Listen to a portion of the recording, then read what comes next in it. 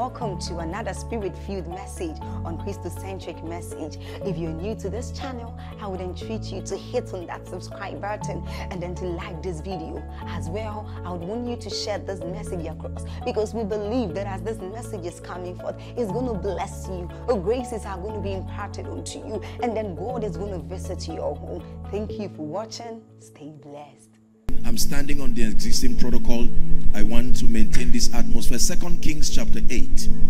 Second Kings chapter 8. We're going to pray and then we'll be seated. Second Kings media, please help us. Verse 1. Do I have it projected here? Thank you. It says, Then spake Elisha unto the woman whose son he had restored to life, saying, Arise, go thou and thine household, and sojourn wherever thou canst sojourn for the Lord had called a famine, and it shall come upon the land seven years. We're reading to verse 6 very quickly. Number 2. And the woman arose and did after the sayings of the man of God, and she went with her household and sojourned in the land of the Philistines seven years. Verse 3.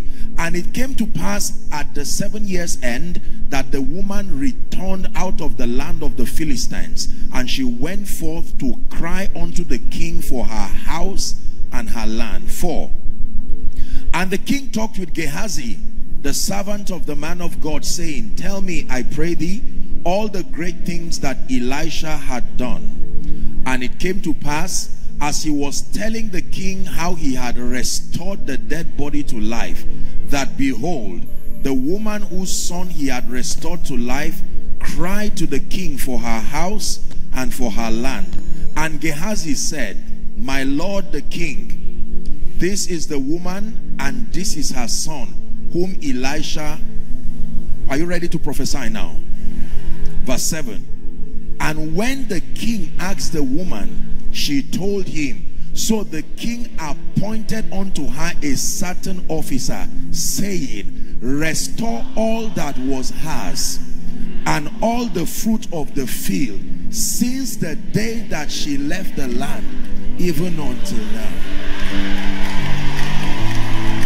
Are you ready to pray? You're going to shout the word restore seven times as a prophetic declaration. I want you to be very serious. At the seventh time, you will raise a voice of prayer. Father, restore everything. Doesn't matter how long. Are you ready now? Number one. Number two. Number three. Number four. Number five. Number six. Number seven.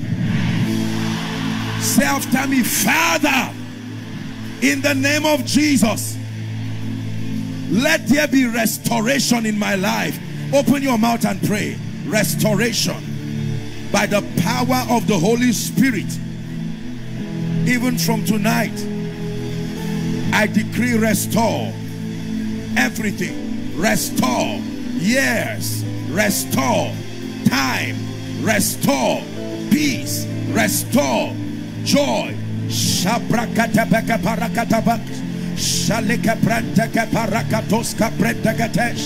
Restore. Decree and declare outside. Make sure you are praying. Restore. Restore. Shabrakataparanto kotopreska tabeleke paratos. Lebrika perikotas kaligranteka perekata parusiata. In Jesus' name we pray. In Jesus' name we pray. So the widow stood before the king and advocated her restoration. There was another widow in Luke chapter 18 and verse 1. The Bible says she went to a judge who did not fear God nor regarded man. And she said, avenge me. Avenge me my adversary. And the Bible says she continued, she persisted. And the man said, even though I do not fear God and I do not regard men, yet this woman wearies me by her continual coming. The Bible says, give him no rest until he establishes Jerusalem as a praise. Are you ready to pray one more time? Say, Father, I decree that I will receive total restoration. Open your mouth and pray. Total in your health, your finances, your marriage, total restoration. Total restoration.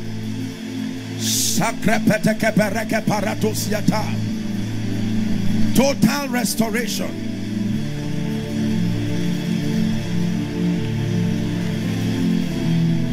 Total restoration. Rate palantas paratosiata. You are praying. Total restoration. I insist. I place a demand upon your integrity tonight. Total restoration.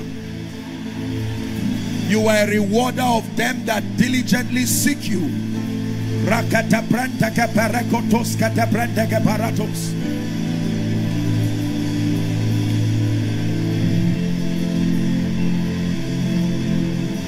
Ruach Elohim Ruach Elohim Ruach Elohim. Ruach Elohim.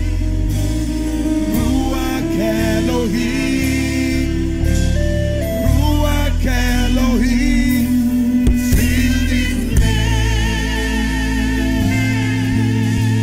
Aleka prata kaparakatos kata branda kataba.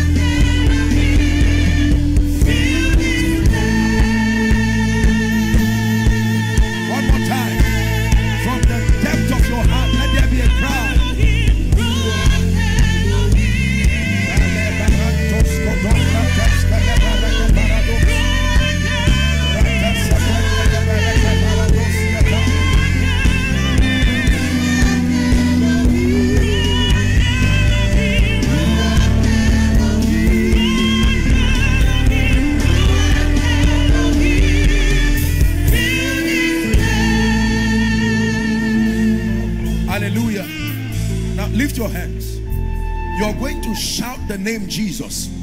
And anyone under the sound of my voice, that every altar that has held your destiny down, that you don't make progress, fire is coming from heaven upon you right now. I want ushers to quickly bring the people out at the count of three. This is for you and your family. Said, For the promise is unto you and to your children and to your children's children. Father, I pray that in the name of Jesus, every force responsible for delay, retrogression, keeping your people down, at the shout of that name, let fire fall from heaven. Are you ready now?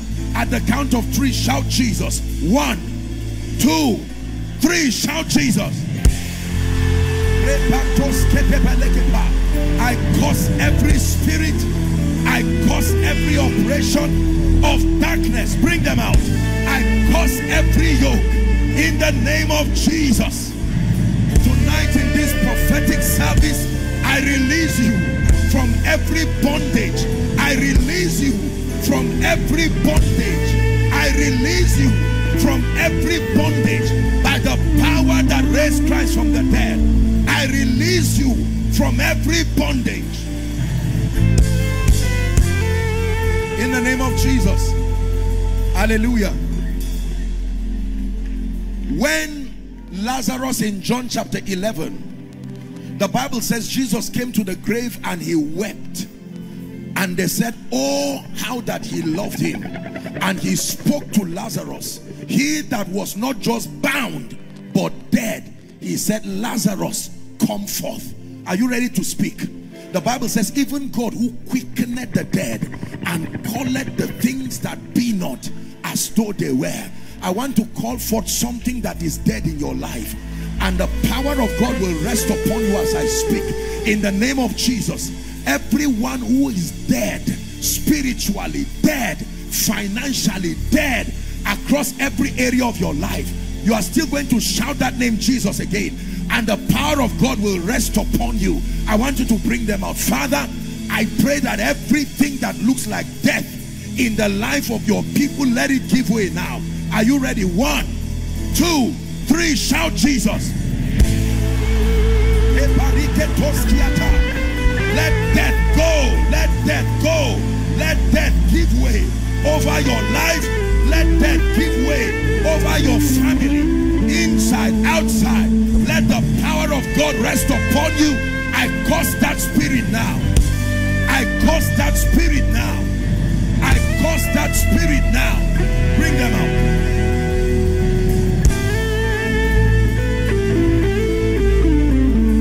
Hallelujah. One more prayer. This one I'm going to sing it for you. But thou, oh Lord, art a shield for me. My glory, you lift my head.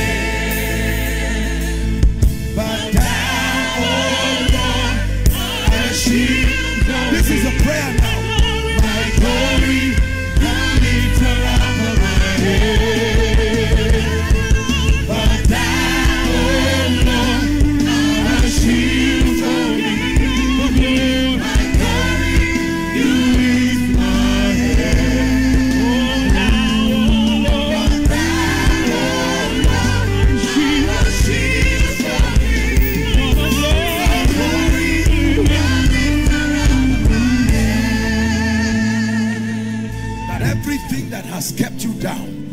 it says son of man what seest thou? And he said i saw four horns. These are the horns that have lifted up themselves against jerusalem against judah so that no man doth lift up his head. He said boy i I have sent four carpenters. I pray for you like lazarus. Even though he was out from the dead he could not release to manifest. And jesus said lose him and let him go. Is someone ready to be loose now? Say father I declare every chain over my life, over my destiny, by the blood of the Lamb, let it go now. Let it go now. Let it break now. Open your mouth and pray. Let it break now. Lose it and let him go. Lose his destiny. Lose her destiny. Let her go. Let him go. Let him go. Let her go. La katibrekata. Lose him and let him go. Lose her and let her go.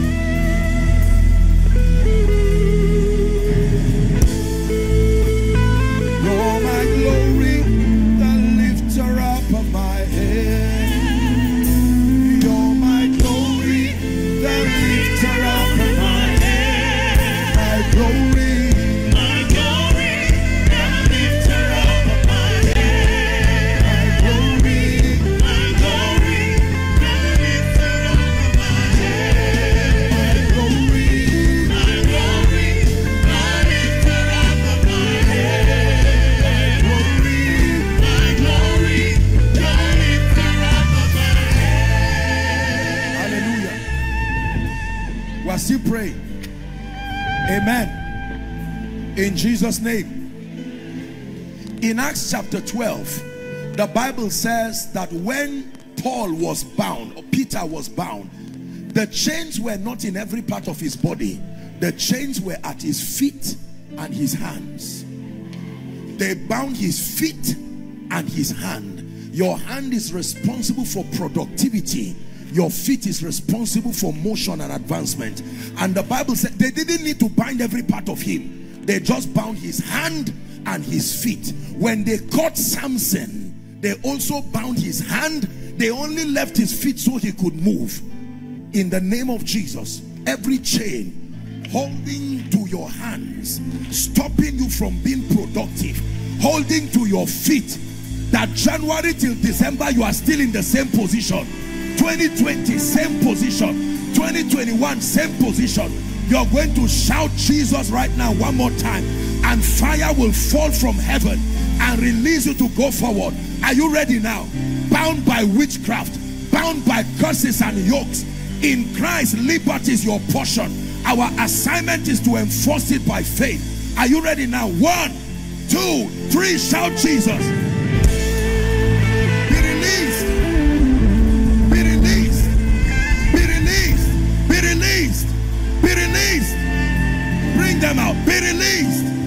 The name of Jesus.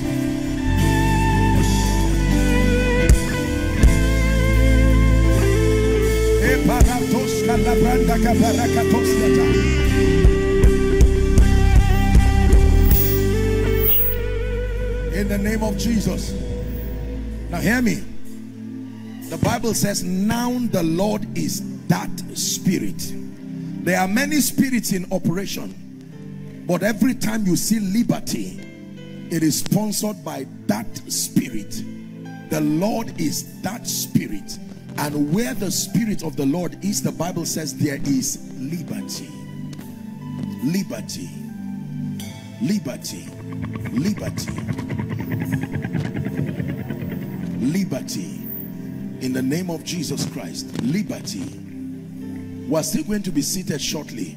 But I'm just seeing a vision and I'm seeing fire. And I'm seeing it rest. This one is not deliverance fire. We'll come to that. This is not fire for deliverance. The Lord is speaking to me and saying, some of you have been ordained to be saviors that will bring restoration to your families. Not everyone, but some of you, there is a mantle, there is an ordination. I don't know where that gentleman is or that lady is, but I stretch my hands. Anyone here who has that ordination like Jeremiah, may that fire rest upon your head now. Oh, receive it. Let it rest upon your head now. In the name of Jesus Christ. In the name of Jesus Christ. That you will not only be delivered, you will be the deliverer. You will not only be the restorer or be restored, but you will be the one bringing restoration. In the name of Jesus Christ.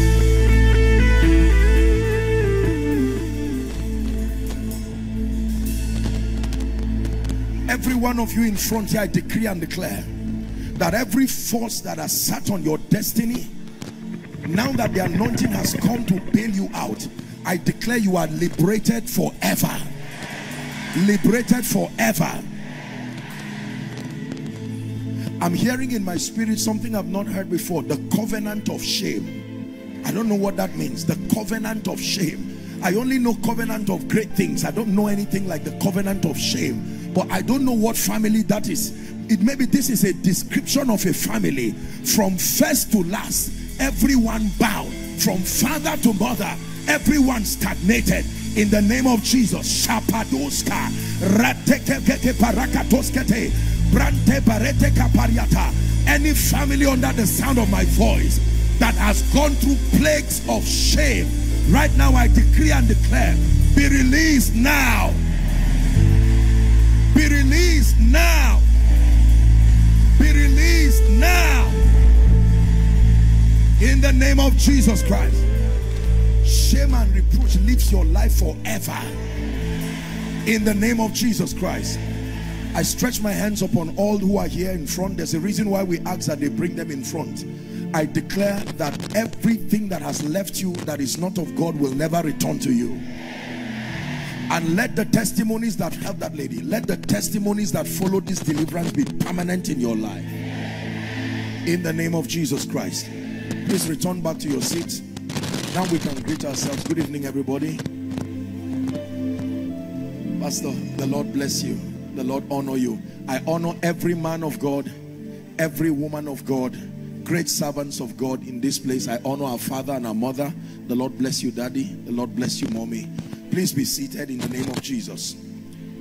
Tonight, God is insisting that that word restore will no longer be the caption of a program, but that it will be an expression of what God would have done in your life at the end of this service. Tonight is not the night to be careless with your discernment. Participate maximally. Amen means I believe. Amen means let it be so in my life. It says, blessed is she that believes. For unto her there shall be a performance. Not unto everybody. Unto her that believes. There shall be a performance of those things that were spoken of by the Lord. Hallelujah. Praise the name of the Lord. Tonight is a miracle service. I will just give a charge and we'll pray. I truly came with a determination in my heart to see someone walk out of this place with a real testimony in the name of Jesus Christ that you will not need to tell people you came for a conference like this your life will be the message and it will sound it loud and clear that God is still mighty in the midst of his people. You believe that? Say amen. Shout a louder amen. Hallelujah. God is restorer. He does restore.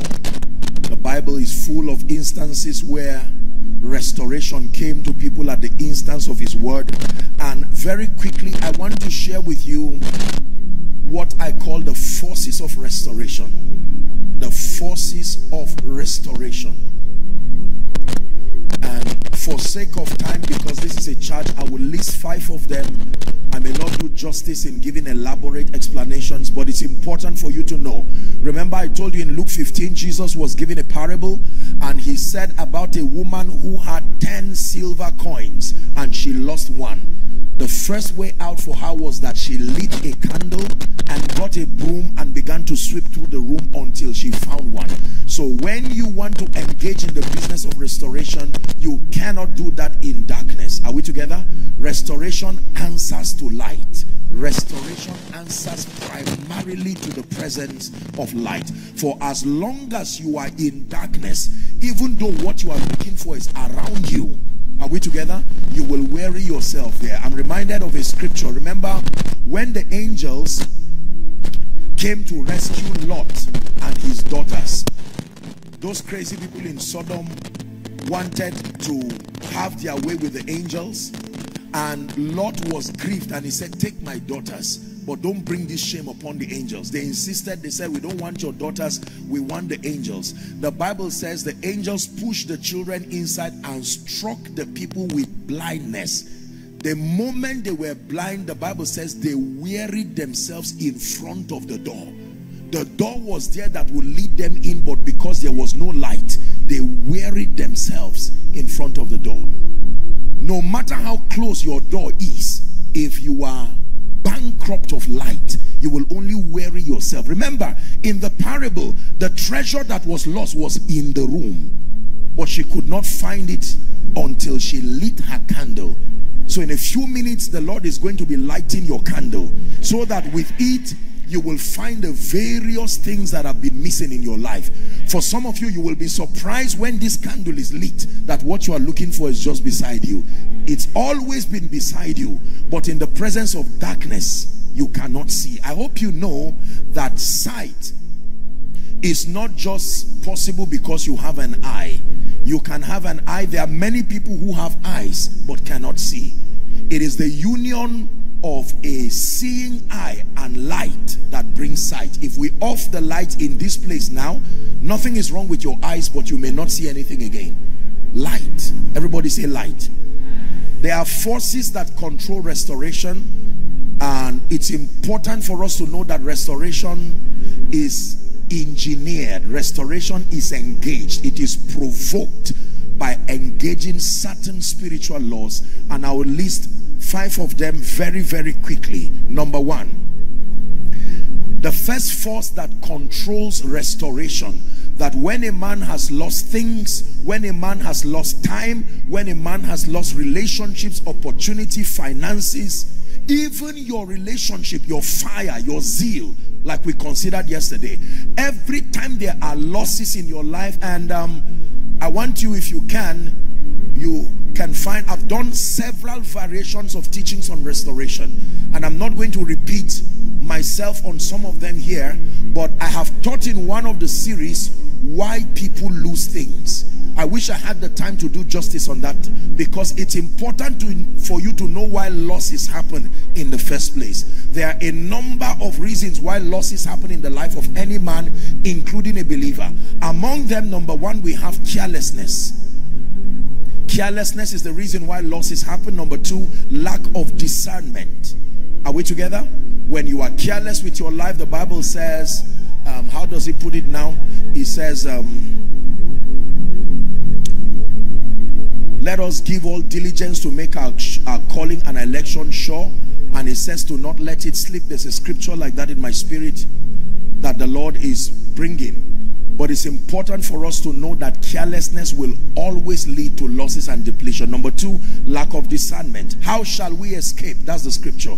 If we neglect so great a salvation. If you neglect so great a salvation. Hallelujah. Another reason why people lose is as a result of demonic forces. Demonic forces. Ignorance can also lead to losses. Ignorance can lead to losses. There are many reasons, at least six of them. But now I want to show you how we command and enforce restoration. Number one, the first force is called the force of prayer. When you realize that you have lost things, you've lost opportunity, the first port of call is to pray. And there are various kinds of prayer. Not every kind of prayer commands restoration. There is a kind of prayer that commands restoration. Three people in the Bible prayed that kind of prayer. And I hope that we have a, a time um, to discuss further. But tonight, for tonight, I will just give you in summary. Number one was Elijah. James chapter 5, please. We read from verse 16 to 18. In this case, it was Elijah that made a prophetic declaration. Are we together? A declaration and he said, verse 17 and 18 gives us perspective on what happened. It says Elijah was a man of like passion like us and he prayed earnestly that there might be no rain.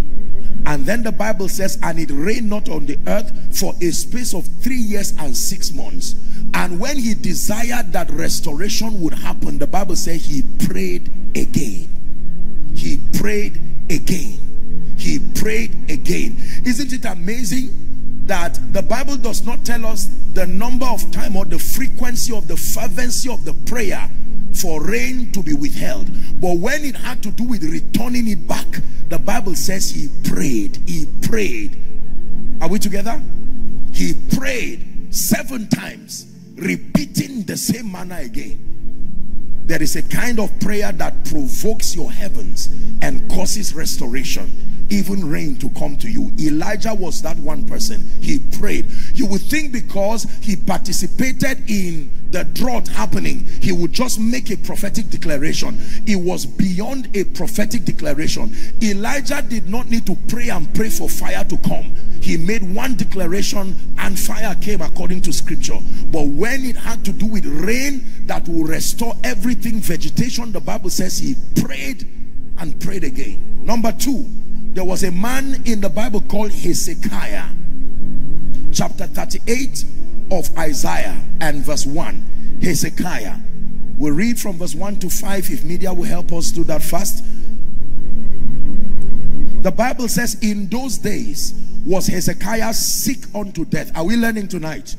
And Isaiah the prophet, the son of Amos, came to him and said, Thus saith the Lord, set thine house in order, for thou shalt die and not live. Verse 2. The Bible says, Then Hezekiah turned his face to the wall and, talk to me, and it was not just lamentation, it was prayer. What was the content of his prayer? Verse 3 he said remember now o god i beseech thee how i have walked before thee in truth and with a perfect heart and have done that which is good in your sight and hezekiah wept sore the answer the word of the lord came to isaiah saying go and say to hezekiah Thus saith the Lord, the God of David, thy father, I have heard thy prayer and I have seen your tears. Behold, I will add unto thy days 15 years. 6.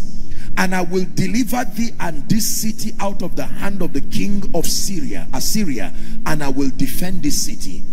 Even when a word came supposedly from the Lord, the Bible says Hezekiah respecting the prophet, he turned his face and he prayed. Are you ready for number three? The Bible talks about a mysterious man in the Bible called Job. Job was one man who the Bible shows us the beginning of his life and then it shows us the journey that this man was the greatest man in the east by any definition. The bible says he feared god he eschewed evil he had sons he had daughters he had possessions and in one day one day this man lost everything back to back.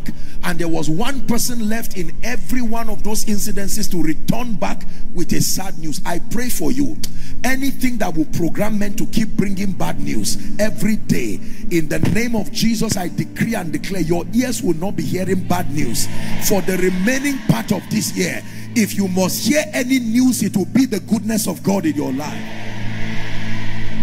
The Bible says, while another was speaking, another one would come and say, This is not all. It's worse than you are hearing. Another incident lost his cattle, lost his estate, lost his sons and daughters in one day.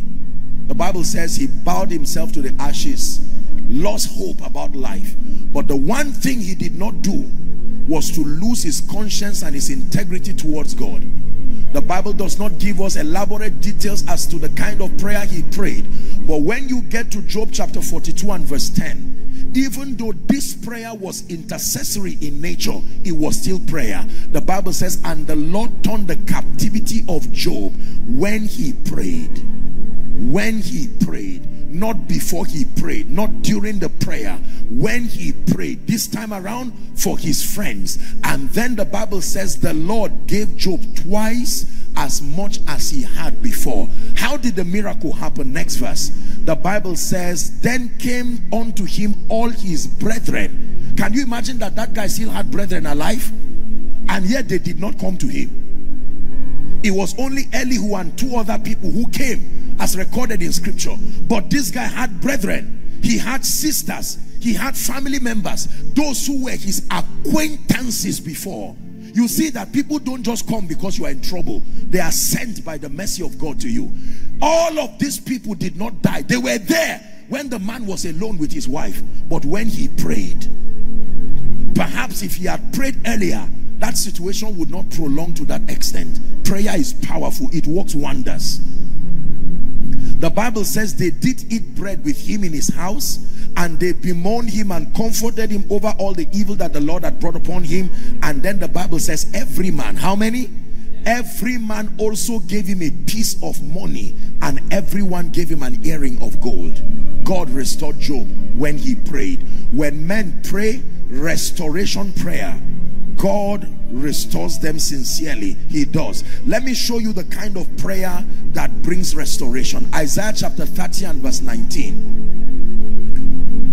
The prayer that is full of self-righteousness, the prayer that is full of yourself does not provoke heaven and it does not lead to restoration. Because in most cases, the fact that you need restoration meant that there was once an exceeding great army. And something began to happen and deplete your life and deplete everything. Are we together? When you receive something from the first time you don't call it restoration. You can call it breakthrough or advancement or progress. The idea of restoration meant that you were once in a state and something happened. Usually you must have participated in a way either with a wrong mindset a depleted spiritual life or any of the factors that I led that I told you earlier on that leads to losses. It doesn't matter how it came. I'm praying tonight that my God will restore. Shout a believing amen. Read verse 19 with me please as loud as you can. Are you ready? One two, go for the people shall dwell in Zion at Jerusalem uh-huh. Thou shalt weep no more. He shall be very gracious unto thee at the voice of thy cry when he shall hear it. When will he answer you? Not when you are in trouble. He does not answer when you are in trouble. He answers when he hears the cry. He says the lord hear thee in the day of trouble is that in your bible? The God of Jacob defend you in honor to your cry and your prayer. Send you help from his sanctuary and to comfort you from out of Zion. Many believers, when they are in trouble, what they do in the place of prayer is to lament and get angry and stand in self-righteousness. No, when you are in trouble, you cry. An example of one person who cried that kind of cry was blind Bartimaeus. Thou son of David, have mercy upon me. Blind Bartimaeus did not say, you know, I'm a sincere person. I don't know why I got into this case of blindness. No, no, no. That's not how it works. There are some of you who need to go to God and cry the kind of cry. Give us that scripture again. Isaiah 30 and verse 19. Very powerful scripture. I found this scripture years ago at a time of retreat. It came by revelation. It says, when he shall hear it, he will answer you. When he hears. The day you go to him and say, Lord, change the face of my ministry. Restore take away shame and reproach let it not be that you brought me out of Egypt and could not take me into the promised land the Bible says, present your cause, said the Lord. Bring forth your strong reason. Is someone learning? For as long as you keep celebrating lamentations or lamentations and whipping up sympathy over your situation, I hate to be a bearer of bad news. Things will not change. By now you know that time does not change anything. Even if you don't know what to do, start by praying. Lord, show me mercy. I'm clueless about the next season of my life. I don't know what to do. That this was a family with grace and honor. I used to be a businessman transacting at the millions and billions and something happened and I began to deplete. Show me mercy. Let me tell you one prayer I know God does not reject. One prayer that does not require skill to pray is the cry of mercy. Are we together? Thou son of David. I don't know who you are called. I don't know much about you, but I'm in trouble. The only thing I know is that you are a son of David. And when Jesus heard that, he remembered. He said, no, I can't leave this man this way. Thou son of David. Some of you need to return after this meeting and cry, Lord, let this shame and reproach over my life, this shame and reproach over my family, let it be rolled away like a curtain. Let it leave my life like smoke before the wind. I am tired of this embargo of reproach that is upon my life and upon my ministry. Someone shout, mercy, Lord. Say it with understanding. Say, mercy, Lord. God shows men mercy. Oh. He does. He does. Is one of the ways that God helps men. I think I've taught it here in this church that there are three ways we access help from God. Number one is the ministry of mercy. Number two is the gift of men. Number three, the ministry of the helper himself, the Holy Spirit. All through scripture, every time God helps a man, this is how he helps a man. By showing him mercy, by bringing men as instruments of mercy and by enjoying the ministry of the helper and the comforter himself. And when God wants to give you accelerated help he combines all three. You enjoy mercy you enjoy the gift of men and the comfort of the spirit. I'm praying for someone. In the name of Jesus I don't care what is responsible for the losses the depletion. I don't care what is responsible for the stagnancy. You have come for this meeting. You've come for this miracle service tonight I stand in faith with every vessel of grace in this place and I decree and declare may the Lord hear your cry. May the Lord hear your cry. Hallelujah. The Bible speaks to us about a priest in fact he was a high priest in the Bible called Zechariah he was a righteous man who loved the Lord and had a wife called Elizabeth we do not know when they got married and how long but we knew that there was a point in their life where they were trusting God for a miracle. It was like an embargo, a reproach upon them. Only God knows. The Bible says one time while Zechariah was performing his high priestly duty, it was in the place of prayer. Listen, I hope you know that Gabriel did not just come at any time in his life. There was a specific time that he came. It was at the time of prayer. Gabriel appears to him and says good news is coming and he began to doubt and Gabriel said I am Gabriel that standeth in the presence of God his mouth was shut because of unbelief until he agreed with prophecy that the name of that son would be John and John came in the spirit and the power of Elijah six months ahead of Jesus. And he was at the wilderness eating locusts and wild honey. He became according to scripture the mightiest and the greatest of all the prophets. How about another woman who had waited and trust God going to Shiloh and crying all the time called Hannah? She prayed a prayer of mercy. The answer came at the point of prayer. Is someone learning now? If she sat down at home and said I know one day go better she would have died barren. She went in the morning and went to the temple. The bible says she lifted up her soul and sobbed and cried to a point that um, eli thought that the woman was drunk and he began to rebuke her. Carry your drunkenness and you want to desecrate God's altar and leave. And she said, my Lord, I'm not weeping. I'm not a woman who is drunk. It is an expression of my sorrow. There are times when life overwhelms you. You do not have the creativity to be skillful in the place of prayer. The only thing you can say is mercy. Even Jesus in Gethsemane, the Bible says he prayed saying the same thing. We don't know that thing he said. We only know that the Bible says he said, if it be thy will, take this cup off me. But that could not have been the only thing he said. He was crying, but he also obtained grace to finish. In the name of Jesus, I pray for someone. Whatever has attacked your prayer life, so that when you need it as a weapon, a bailout system from calamity, the energy there is not there. I'm praying for you. The Bible says, quicken us and we will call upon your name. Let the quickening of the spirit rest upon your prayer life in the name of Jesus Christ the Bible says the fire that is upon your altar it shall be it shall burn day and night that you add wood to it every morning it shall not go down. An attack on your prayer life is a real attack. It is better for your finances to be attacked than your prayer life. Because when you lose your spiritual fervency don't forget Isaiah 30 and verse 19 when he hears the cry then he will answer. Let me tell you this. God is touched with the feelings of your infirmity, but he's only moved by his word. He sympathizes. We do not have a high priest who has not been touched with the feelings of our infirmity. Are we together now? He is touched, but he only responds to you according to his word. Is someone learning the force of prayer? Number two, very quickly. What is the second key that controls restoration? The second force is called the force of divine direction. Now you listen to this one. Divine direction.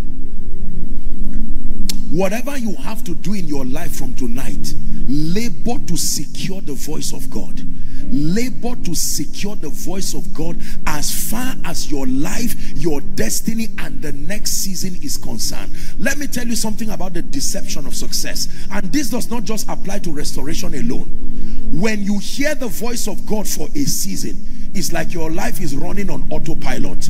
But there are moments where you get to the edge of one season, connecting to the other season. At that point, there is a demand of deeper concentration and discernment. You can excel in a season and fail to transit. Mastery in the spirit is demonstrated when you are transiting seasons. That's when you will really know if you are spiritual. Hallelujah. As a man of God, you can have 10 years of excellent ministry.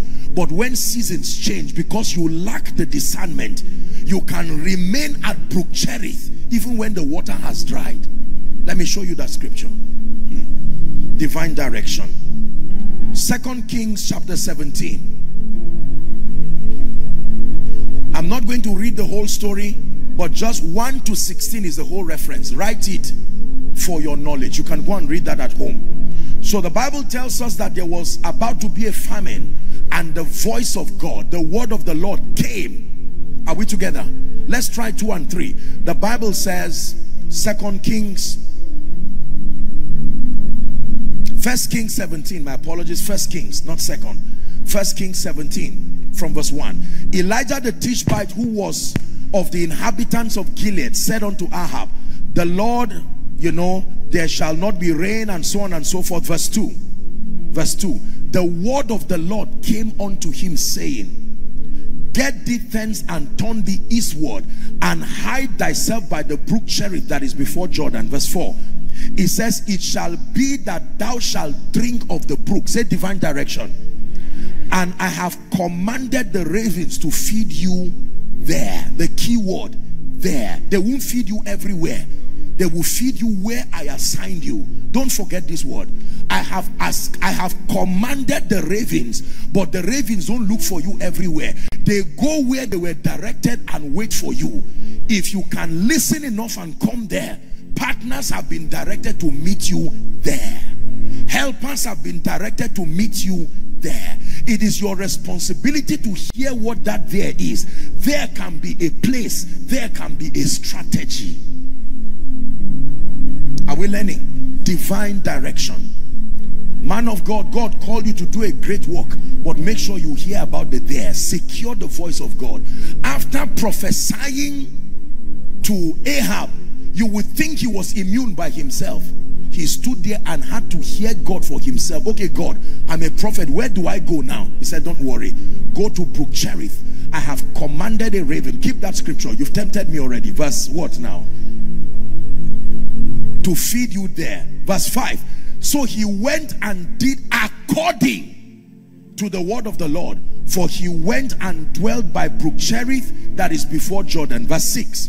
The Bible says, and the ravens, like God said, brought him bread and flesh in the morning and bread and flesh in the evening. I wonder this kind of thing. Imagine ravens I don't care whether you call them prophetic ravens or physical ravens. One thing is that ravens mysteriously brought this man bread and meat. But, watch this. This guy was enjoying the thing every day. Verse 7. And it came to pass after, another word is after a season. I want to show you something now about divine direction. It came to pass after 10 years of raven feeding your ministry 10 years of raven feeding your family the bible says that the brook dried up hmm. the brook dried up the brook dried up because there had not been rain in the land verse 8 and the word of the lord came unto him again just because you had God last year is not enough for your destiny. You have to hear again and hear again and hear again. The word of the Lord came to him saying, verse 9, Arise, get thee to Zarephath, which belongeth to Zidon, and dwell there. Behold, I have commanded. He commanded ravens. Now he's commanded a widow. By the time you reject that voice and say, no, I know what God told me. You didn't lie, but you will die there. Because the ministry of the raven has finished. It's important to know when what God directed to you has finished its course. Just because God sent the man, just because God sent the strategy, does not mean it will work forever. There were things God told me, the, the way I did ministry, five, ten years, things had to change according to the word of the Lord. There are people who are dying right now at Brook Cherith and they will tell you, I will die believing God. They truly will die because they have not known that another voice has come. Hmm. Are we together? This is a lesson for someone. Maybe you're in ministry, maybe you're in business. The same God can say stop. The same God can say go. Don't be loyal to stopping or going. Be loyal to his voice. Don't love stopping so much that you assume he will always say stop. Don't love going so much. A good car has both accelerator and brakes and you don't match them when you want. There are occasions. Are we together? Is God helping someone? This is your miracle service already. For a man of God, you want to crash land right now because you are assuming the ways of the spirit. Go and flog it after this conference. Lord, I had you for five years, but right now I sense in my spirit that I'm at a new season and I will not move until I secure your voice. Let me tell you the truth. God does not always speak, but he speaks. You were created in his image and you are not always speaking. The idea that God is always speaking is not accurate. In the Bible, you will hear that the word of the Lord came. Jesus, as God incarnate, was silent sometimes. When they brought the woman with the issue of blood, he kept quiet for a while. He didn't talk immediately. There are times God keeps quiet. And you must learn to stay when he's silent till you hear his voice. Who is learning tonight? Hmm. Don't die at Brook Cherith. It was God that said, open that supermarket. But he knows what is happening right now. And you begin to sense a desire to go and pray and fast for two or three days. But you say, I have so much customers. Don't wait until the day the shop dries up and people now say, where is your God? And God will say, I've been trying to get your attention since January. I've seen a famine coming in the land. And when that famine comes, this strategy will no longer work. Let me tell you the truth. This is not a pastor's conference, but I want you to write this. The way ministry is done now is wrapping up. A new season on how ministry is done is opening up. And everybody who has been eating from Brook Cherith, is your responsibility to go and say, Lord, what is the next step? Otherwise, you will build a monument in Brook Cherith and gather dead bodies there. And the dead body will be because God once said, stay there. Are we together?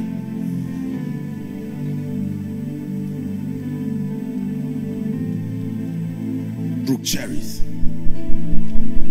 So take the time to pray. Don't be too loyal to strategies. Don't be too loyal to what was said yesterday. Make sure you are hearing all the time. Habakkuk said, I will stand upon my watch. I will set myself upon the tower and I will hear what he will say to me. Take the time. Father, in the name of Jesus, I'm trusting you for the education of my children. Should I send them to Canada? Should I send them to Europe? Or should they school in Nigeria? Oh, no, no, no, I have brain. Wisdom is profitable to direct. And as soon as you get, sometimes Satan gives visa. Yes, sir. Did you hear what I said? He gives what? Stamp your way to death. And you carry death. Death is not only in the port. Death can be your passport too. You can carry death on your way and carry your child away from you see let me tell you this. Divine direction does not take the place of intelligence or common sense but you must be careful. There is nobody who is old enough to master the dynamisms that make for success on earth. Are we together now?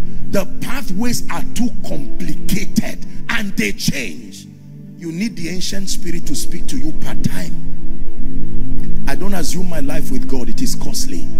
And the higher you go, you have to realize that there are many people connected to your rising. You must stay and ask questions. Sometimes it's not for yourself. You are saying, okay, God, from this altitude now, if I fall, I will not die alone. I will kill others who are behind. Who is learning tonight? Pay the price to secure the voice of God. Elijah he once spoke to you and said, go to Brook Cherith. He told you not to do anything when you started ministry. He said, don't get any job, don't do any business. I am your exceeding great reward. All the destiny helpers that he's put around you, because they obeyed him, God promoted them and they've all left the country. And because they've left, the brook is drying you need to go back and say, Lord, what is the strategy for the next level? When God told you not to do anything, it was because there was no demand, no TV ministry, no international ministry. Now that there are all kinds of demands, you need to go back and say, Lord, when I started, I did not need one million per year. It was simply a fellowship with three people. I could afford some things. Please reveal to me the strategy for the next level. If not, Satan will come with his own strategy. And because of desperation, like I taught you yesterday, you will assume it is the voice of God. I pray for you. Where Satan has appeared as an angel of light. Listen, I hope you know it was light that led the Magi to Jesus. So Satan can appear as a false light and direct you out of the place of purpose and keep you somewhere. Let me tell you this. Don't be loyal to activities. Don't make it a ritual. Have the flexibility and the unashamedness to stop when he says stop to go when he says go. And let me speak to servants of God with all sincerity. It's important for us to not be used to rituals. Activities are good it's good to plan but there are times you must be flexible to say, Lord, what are you saying now? Thank you for what you said yesterday. What are you saying now? Once your heart is malleable to be led of God, he will truly come and lead you. But once he finds out that you are too scientific and calculated, it will take such labor to adjust you a bit. You will find it difficult to make progress in life. Who is learning tonight? Lay your hands on your head in one minute and say, Father, direct me. Let me not step into the next season of my life on my own. Direct me. Show me a strategy that brings restoration. I'm standing in front of dry bones. Even though I am a prophet, I do not want to assume that I should just prophesy. I only prophesy as I was commanded. He tells you what to say. He tells you how to say it. And dry bones can become an exceeding great army. Someone pray. This is not a season of carelessness. You are in a kairos moment in life, in destiny, in ministry. Go ahead and pray. Call unto me and I will answer. I will show you great and mighty things. The force of divine direction. In Jesus' name we pray. Isaiah chapter 30 and verse 21 says, And thy ear shall hear a voice from behind you. Are we together? Your ear will hear a voice from behind you saying, This is the way. Walk ye in it. This is the way. Someone say, Lord, show me the way. Shout it as a prayer. Say, Lord, show me the way. There are businesses that if you are still doing till now, you will lose and you will fail, no matter how righteous you are. The reason is because there's no demand for them again. The world has evolved. And sometimes, by the time you are realizing it, it's already too late. It's only God who sees the future. God can tell you, stop now. And it may not make sense. The foolishness of his wisdom. Don't want to begin to share with you stories of restraints, permissions, things that God said to do that did not make sense at the point of obedience, but his wisdom later unfolded. You sang a very powerful song in the morning while I was coming in. The wisdom before time began. You see that now? Very, very powerful. Because it is in his light that we see light. The moment you think you are intelligent enough to run your life by your own wisdom, be ready for pain and be ready for recycling of losses in your life. As for me, I gave up on my intelligence long ago. Not that I do not acknowledge it, it comes from him. But I've made up my mind that this destiny and this assignment God has given me, bah, there are many parts of that equation that school did not teach you. There are many parts of that equation that parental training, no matter how thorough, will not show you. There are virgin dimensions that, you see, the moves of God are twofold. There is what we call the cyclical move of God. As it has been before.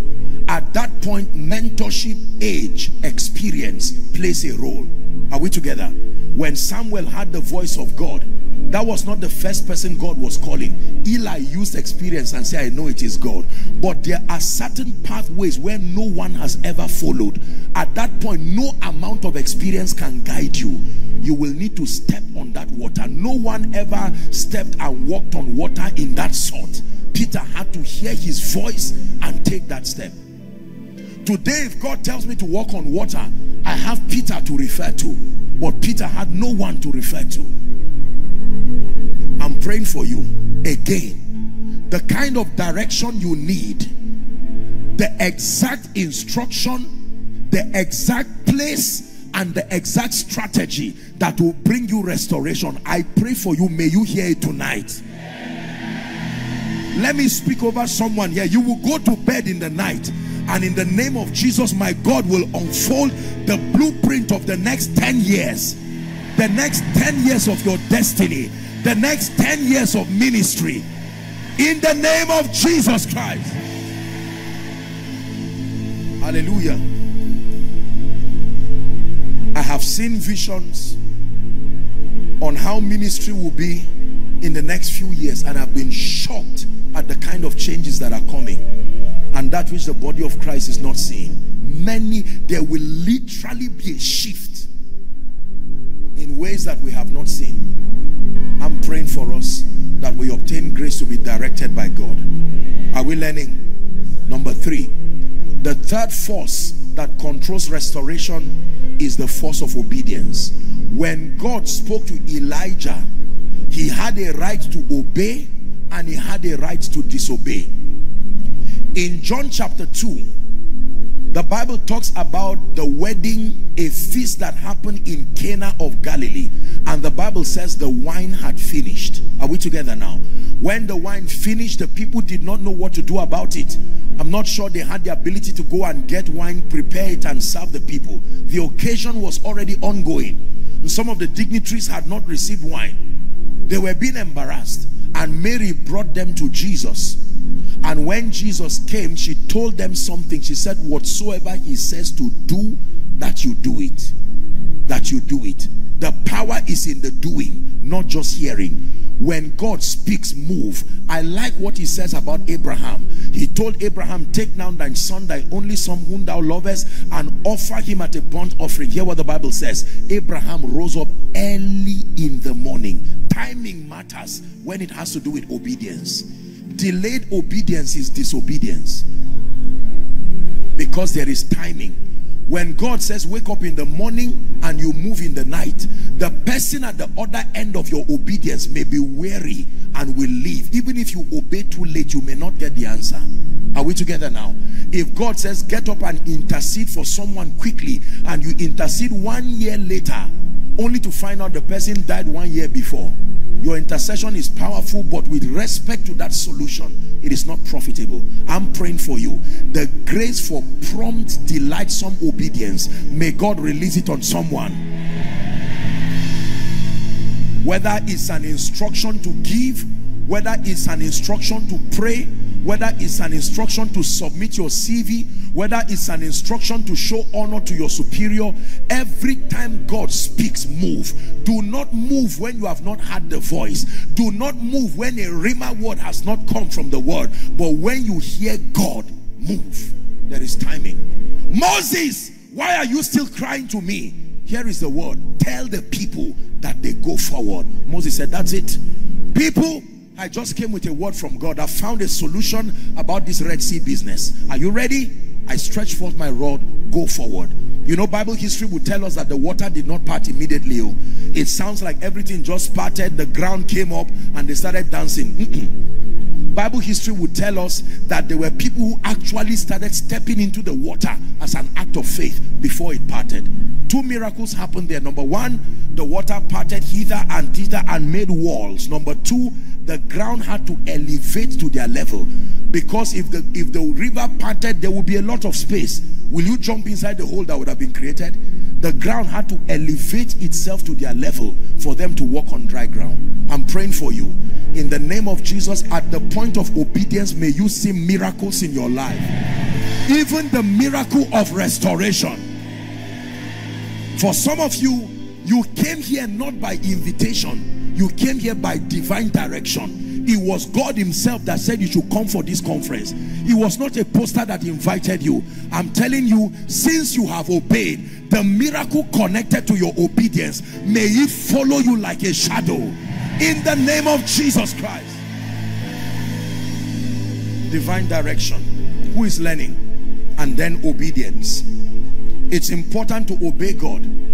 The spirit of rebellion often manifests as disobedience. You are not interested in what God is saying or you hear what God is saying and deliberately fight it. You know that's one spirit we need to trust God to get out of this nation. We like knowing what to be done. Then something makes us to disobey.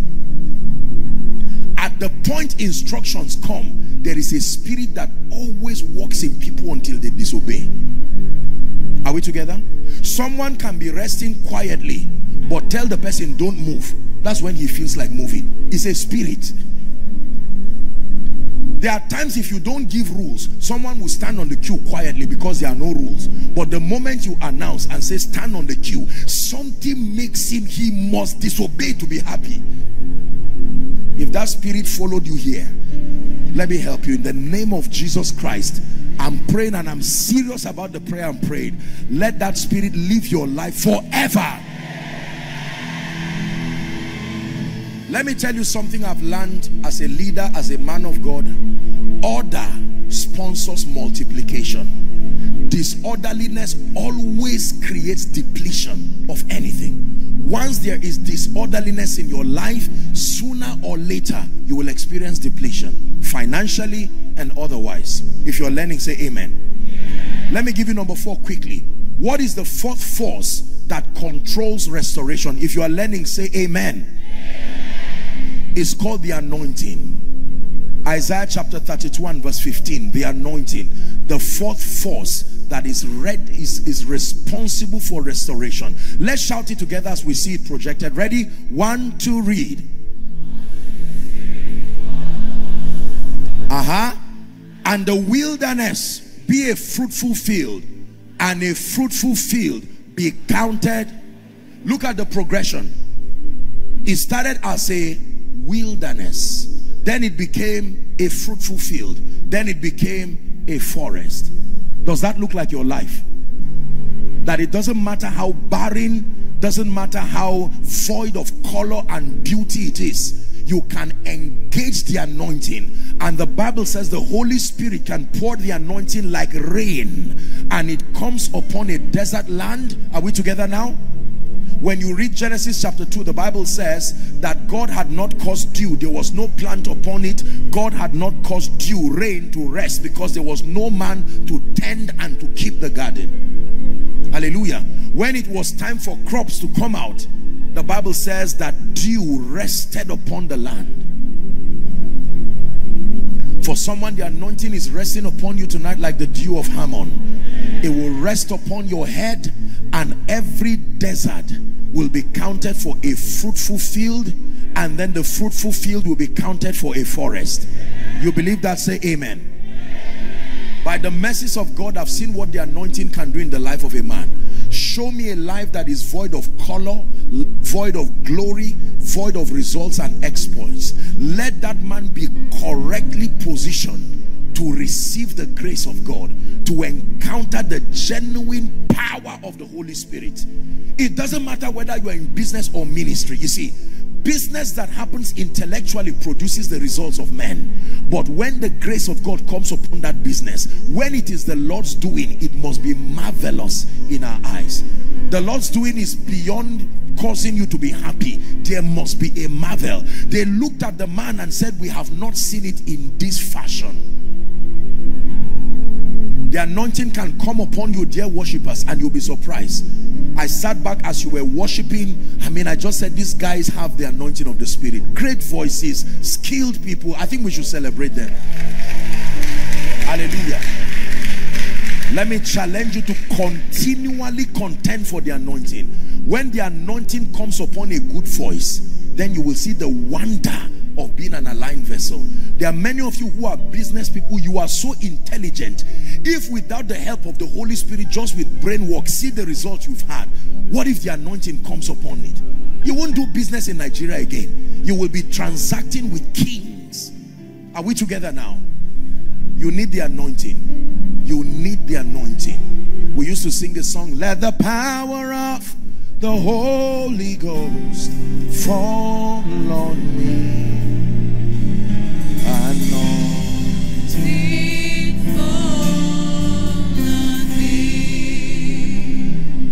Don't know what kind of ministry I would have done today without the anointing. You need the anointing.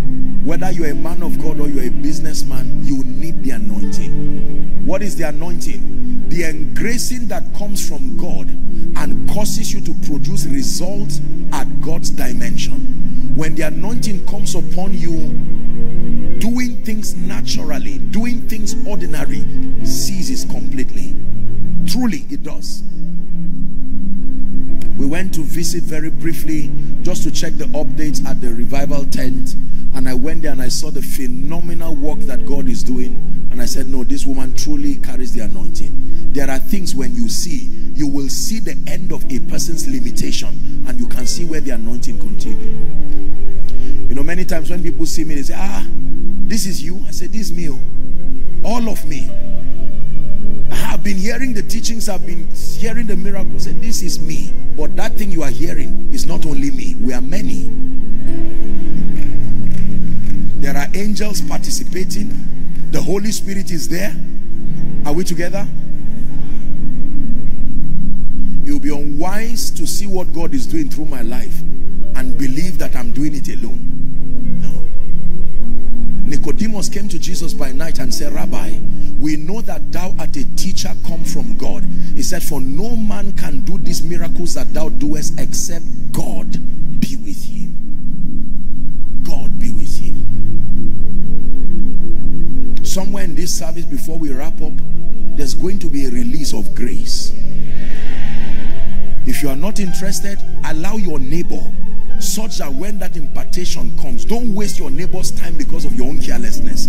If you are not interested, save Johnny. The day you need it, you will come for SOA conference, maybe 2028, when you finally realize the need for the anointing. But your neighbor is desperately, that your neighbor has come to a point where he or she has realized academics without the anointing, well, you can have a good certificate and stroll with that certificate for the rest of your life without help. A proposal can be intelligently presented. They introduced a number of government officials here. Let me tell you a secret. No matter what you do, pray that the anointing of the Spirit will rest upon it and you will watch the wonder working power. They looked at Daniel and said, No, this guy is intelligent as a eunuch, but there is an excellent spirit on this man. There is. Do you know that an excellent spirit is discernible? The king said, The spirit of the gods. I don't know which God, but I know you are not alone. I'm praying for you. Your results today will show you are not alone. Ah, somebody did not receive. Your results will be so extraordinary in the name of Jesus Christ. Hallelujah. That someone will have to call you. Let me tell you a very humorous story. Many years ago, I used to have a, a neighbor then who I, I, hear he used to be a native doctor, you know. He, he, I think he inherited it. He helps people with all kinds of things. I'm not sure he considers himself a bad man. He was just giving something. If you are in trouble, he can come and help. You know what I'm saying? So one day he would always see people come around my place and then he came one night and called me. We sat down just like Jesus and Nicodemus. And he said, sorry, yo, this thing, eh? He doesn't know if there's a way I can help him. Honestly, true story. If I'm joking, I'll tell you I'm joking. I watch with shock and wonder. I said, so this man actually believes I'm using something. Well, he's right, but not, you know what I'm saying? So he wanted us to share. After all, in his mind, he felt we are helping people. I told him, I said, sir, this power you see is a product of relationship. You don't need a relationship with a herbalist. You don't even need to know his name. Just obey the instructions, drop your goat, walk away, and hope that the man knows what he's doing. But when you come to Jesus Christ, he does not give you power. He gives you himself. It is as you walk with him that eventually, like a woman taking in seed, the first day a woman takes in seed, that's not the first day the stomach protrudes. Sometimes for weeks, even her herself will not know she's pregnant. Have you seen that kind of thing? But whether she knows it or not, it doesn't stop the baby from doing what he's doing. Eventually, she begins to feel that, ah, something is, I'm changing. Why do I feel like eating yam by 2 a.m.? Are we together? What is this sudden change in my appetite? And then she goes to the hospital and the doctor says, congratulations, you are carrying triplets. This is the reason why. Ah, who received it? Oh, who received it? You are carrying triplets. Listen, whether you are married or not, the prophecy can wait for you. Wait for you. You don't believe it. How many of you followed our service on Sunday and saw a woman that came with triplets? One, two, three.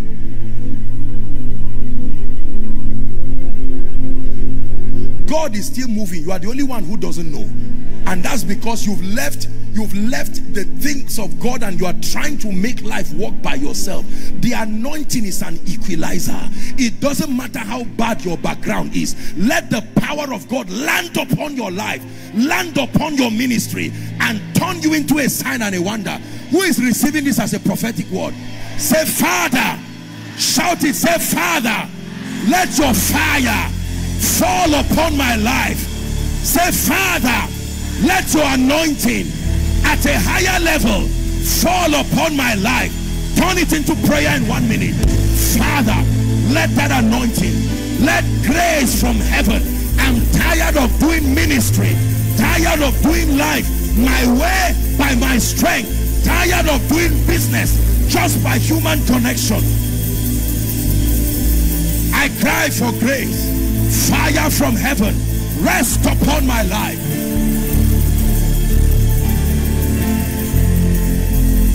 Rest upon my life.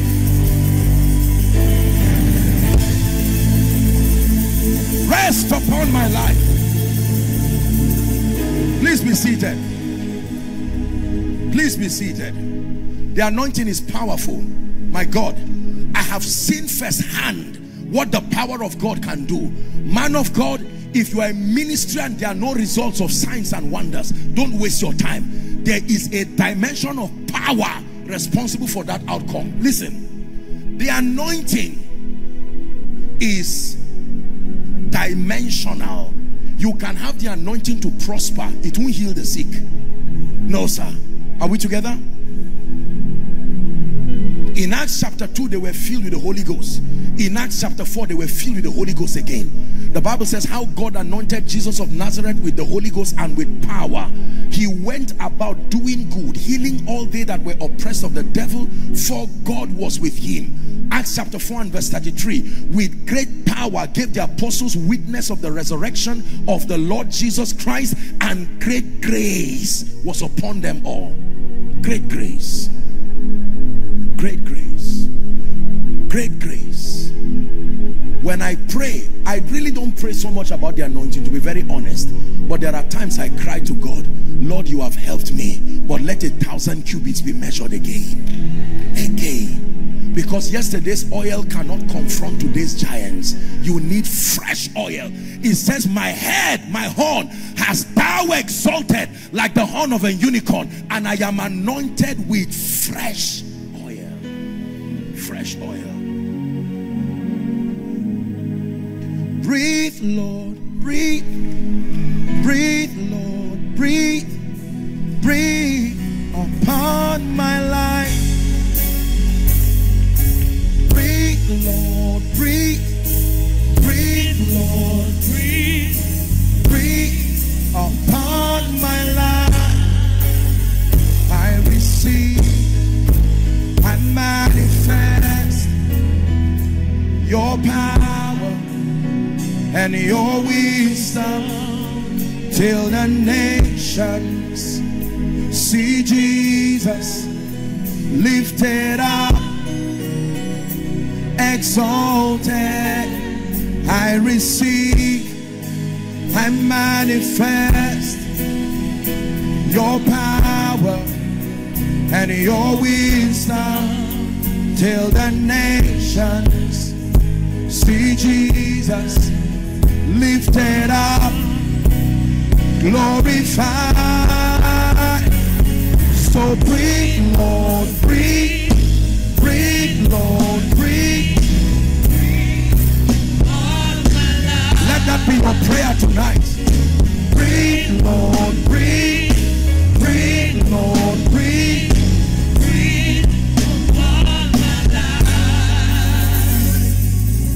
When it's time for the impartation, I'd like you to cry from your heart. Lord, I can't come for this conference and stay at the same level. The door I came in through, I should not go out through that same door. Take me through another door, one that I have not followed before. Let the anointing come on an ordinary man of God and watch what happens to your life. Let the anointing come upon an intercessor and watch what you become. Let the anointing come upon a mother raising children and watch what happens. Let the anointing come on a Daniel. Let the anointing come on a Gideon a Joseph and watch what happens to you. Hallelujah. The anointing of the Spirit is the principal sponsor of favor. It says, because of the ointment, so do the virgins love you. It's not just talking about women, people you do not know, people you've never met. The anointing is able to draw to your life people and resources mysteriously because of the ointment.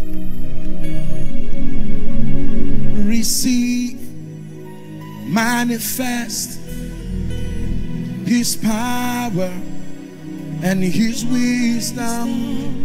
Receive, manifest his power. Let me try it one more time on you. Receive, Receive manifest, manifest his power. Please be seated. I have to give you the last one and then we'll pray. So, number one, the force of prayer, a cry of mercy and help from God. Number two, the force of divine direction, paying the price to secure the voice of God per time, per season. Number three, the force of obedience, having the readiness to judge every disobedience when your obedience is complete. Number four, the anointing, the mysterious dimension of God's engracing that distinguishes a man. Number five, the fifth and the final key that commands restoration is called the prophetic. I want you to listen very carefully. The prophetic. My goodness. Isaiah 42 and verse 22, where you got the theme for the conference. These are a people robbed Give it to us, please. 42, 22. They are robbed and they are spoiled. The Bible says they are taken into prison. They are taken for a prey and none deliver it. They are taken as spoils of war and there is no one to say, restore. Restore. What gives the prophetic the audacity to midwife your liberty. It is because according to Hosea chapter 12 and verse 13 the Bible says and by a prophet Hosea chapter 12 and verse 13 and by a prophet the Lord God brought who brought? But the vessel that was used was a prophet. The same way the bones became an exceeding great army it was God but through the voice of the prophet. And by a prophet the Lord brought Israel out of Egypt and by a prophet they were preserved. In Jeremiah chapter 1 and verse 9 the discourse starts from verse 5 young Jeremiah who had an ordination to be a prophet over territories he was having a discussion with the Lord. And by the time we get to verse 9 9 for the sake of time the Bible says, Then the Lord said unto, the Lord put forth his hand and touched my and touched my mouth. And the Lord said, Behold, I have put my words. Whose words? The utterances that come from a genuine prophet of God are not his words. The reason why it works is because the Lord put the words in his mouth. He is the word, but you are the voice. John said, I am the voice. They say, who are you? Give us a definition, a description. In John chapter 1, 6 and 7, the Bible says there was a man who was sent from God. His name was John. 7 says, the same came for a witness to bear witness of the light that men through his witness might believe. Now they are asking John, John, who are you? And he says, I am the voice of one that crieth. I am not the word, but I am the voice. I give sound. I give I give visibility. The prophet said, I prophesied as I was commanded. Do you know the Holy Ghost told him what to say? And the bones had what the Holy Ghost was saying, but they did not move until a man upon the earth repeated what the Holy Ghost said. The formula has always been the spirit and the bride. The spirit and the bride. When the spirit says, I want to lift someone in Enugu, nobody will rise until a bride comes and hears what the spirit is saying and repeats in faith that God wants to lift someone. You are going to be hearing words tonight. And I hope that you will discern that they are not words of a man. Are we together now? I have put my words in your mouth. I think it's Isaiah 44. Isaiah 44 and verse 16. Give it to us. I, I hope, I hope I'm yes, Isaiah 44. And verse 16, not 17. Isaiah, did I get 26? Let's try 26. I'm looking for a scripture. He confirmed the words of his messengers. I think it's 26. Is that? Please try it 26 media look at look for it for us. 44 26 isaiah 44 26 thank you. That confirmed the words of his messengers and performed the counsel i mean the words of his servants and performed the counsel of his messengers. Let me tell you why prophetic words come to pass. It's not because the man of God is powerful by himself. Number one it is because the words that he's uttering are the words of God. We are prophesying as commanded. Are we together? Everything you hear us say is something the spirit of God has already said. Your assignment as the bride is to repeat as you heard I prophesied as I was commanded and there was a sound the Bible says bone began to be joined to his bone and then he says, speak again, prophesy upon the four winds and says, O wind, breathe upon this slain. And the wind came and there arose an exceeding great army. I am a beneficiary of the prophetic. I know what the prophetic can do. You've heard my story. I will say it for as long as God grants me the grace to come here. I, we can do a night vigil just giving you testimonies of what the prophetic has done in my life. The prophetic. The prophetic. The prophetic. That someone looks at you and says you are blessed. If the person is talking on his own, don't waste your time. Just be on your way going. But if that person is speaking as an oracle of God and he says you are blessed, the spirit of wisdom proceeds and begins to orchestrate the men who must act out that prophecy. This is how the prophetic works. So if I declare over your life and say, may God open doors, your own is to receive. The amen is not just lifting your hands and shouting. You are agreeing with the spirit. I have heard what your servant has said and I believe that that word came from you. If I shout restore and you say amen, what you are saying is, Lord, this is the word for me in this season and I open up my heart. If you are too big to say amen, you will never see prophecy come to pass. Saying amen is not about shouting A-M-E-N. Amen is really from the heart. You can shout amen and in unbelief, you did not receive. Hallelujah. Praise the name of the Lord. When our daddy returned as he welcomed me in the office, I said, a small boy like this should not make a father in his 80s, getting to 90s, to come and wait for me at the airport. And I held his hands as we were going, and in my heart, I was saying, No, God, this man at this age and at this point, he's still doing this. I'm hold, I held my small hand and said, Death, you are far from me. The name of Jesus Christ. Far from me. Far from. When a man who God has shown mercy in the area of finances, with integrity if he looks at you as touching the oracles of God and says as God showed me mercy may he show you shout amen. No don't say don't say I have a shop.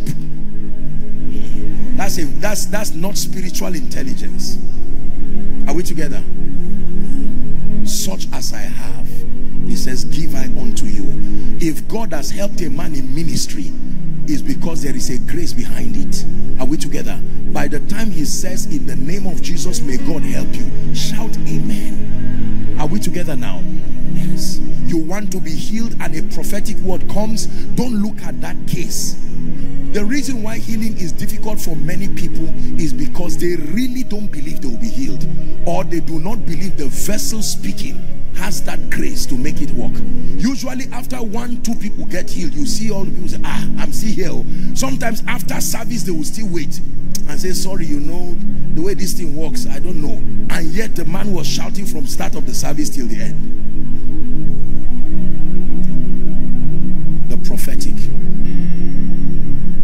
hearing prophetic words right now. God has put his word.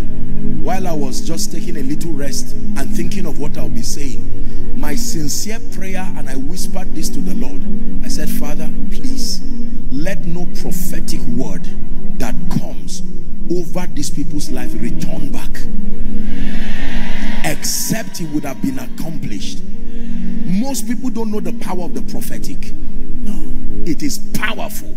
By the time you are done with service, you carry your bag, your Bible, and believe that you are going back home with all you came with. No, there is more. As you carry your bags and your Bible, you're on your way. How is church? Fine. You do not know that you are carrying mysteries on your head. You are carrying graces on your head.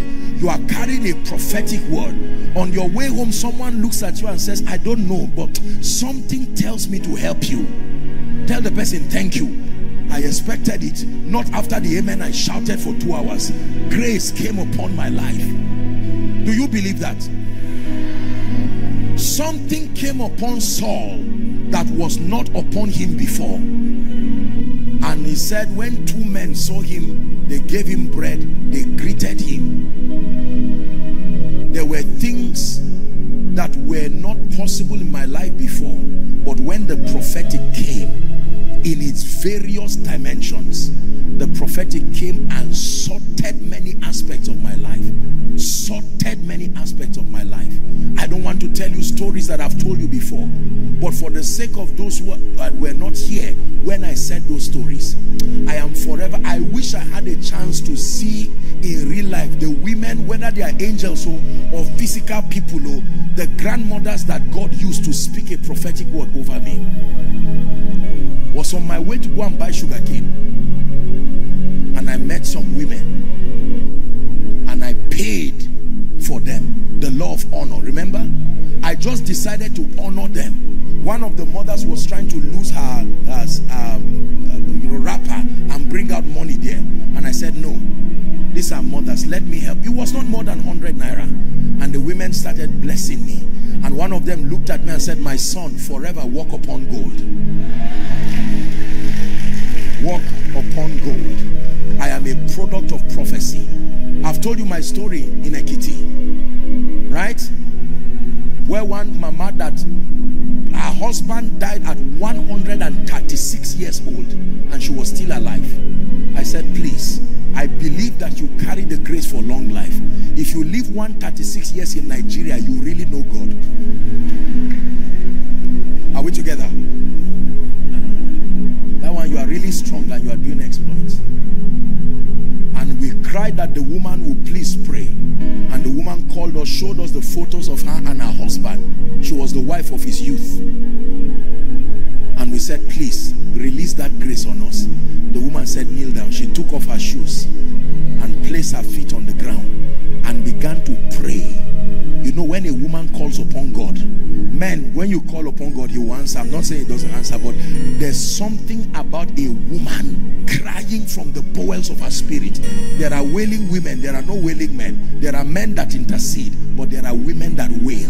When they cry to God, God answers. Let me tell you, if you have a prayer team praying for you and women are not part of it, pray that God will add women women have something between them and God. When they cry to God when a woman reports you to God even if you don't know what she's talking about start saying mercy mercy mercy Lord mercy. Let mercy go before the report reaches the throne.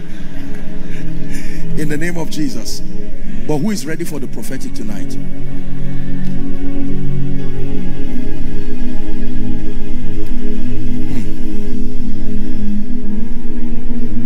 Destinies can change at the instance of the prophetic. Ministries can be born at the instance of the prophetic.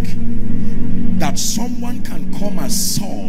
And those of you at the overflow, I know there are so many people. Don't be distracted. You have paid the price to this point. I'd like you to receive something that works in your life. Rise up on your feet. Rise up on your feet. Rise up on your feet. Rise up on your feet.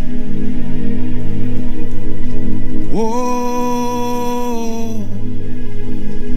Oh.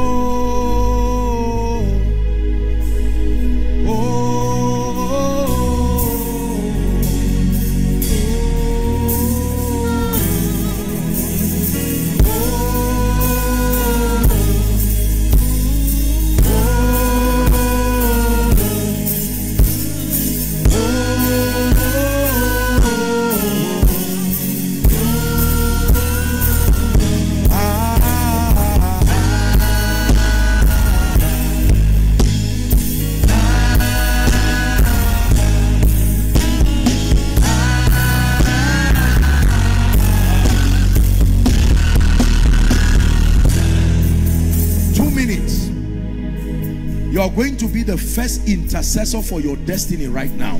You're not praying for your neighbor. You're not even praying for your spouse.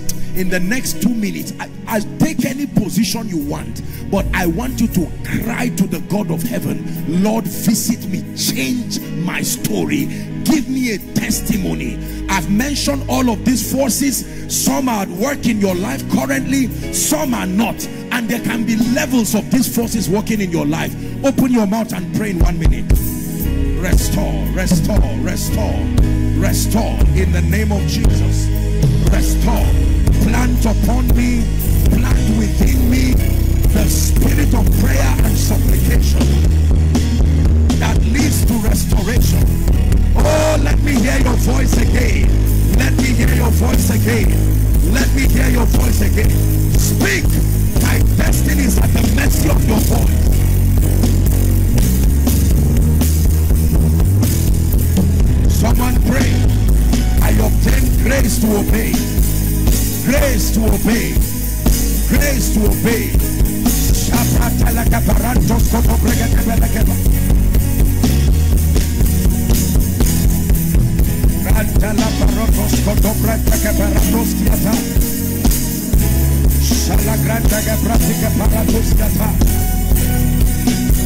Fresh oil, oh God, upon my life, upon my destiny. Speak. Let your word come with power tonight.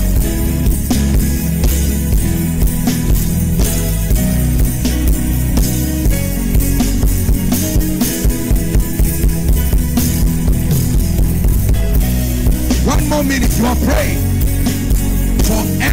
Everyone that asketh, receiveth. To him that seeketh, he will find.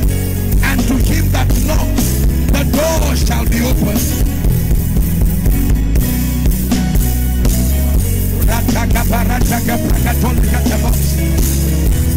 Your ministry cannot remain the same after this encounter. Your destiny cannot remain the same after this encounter.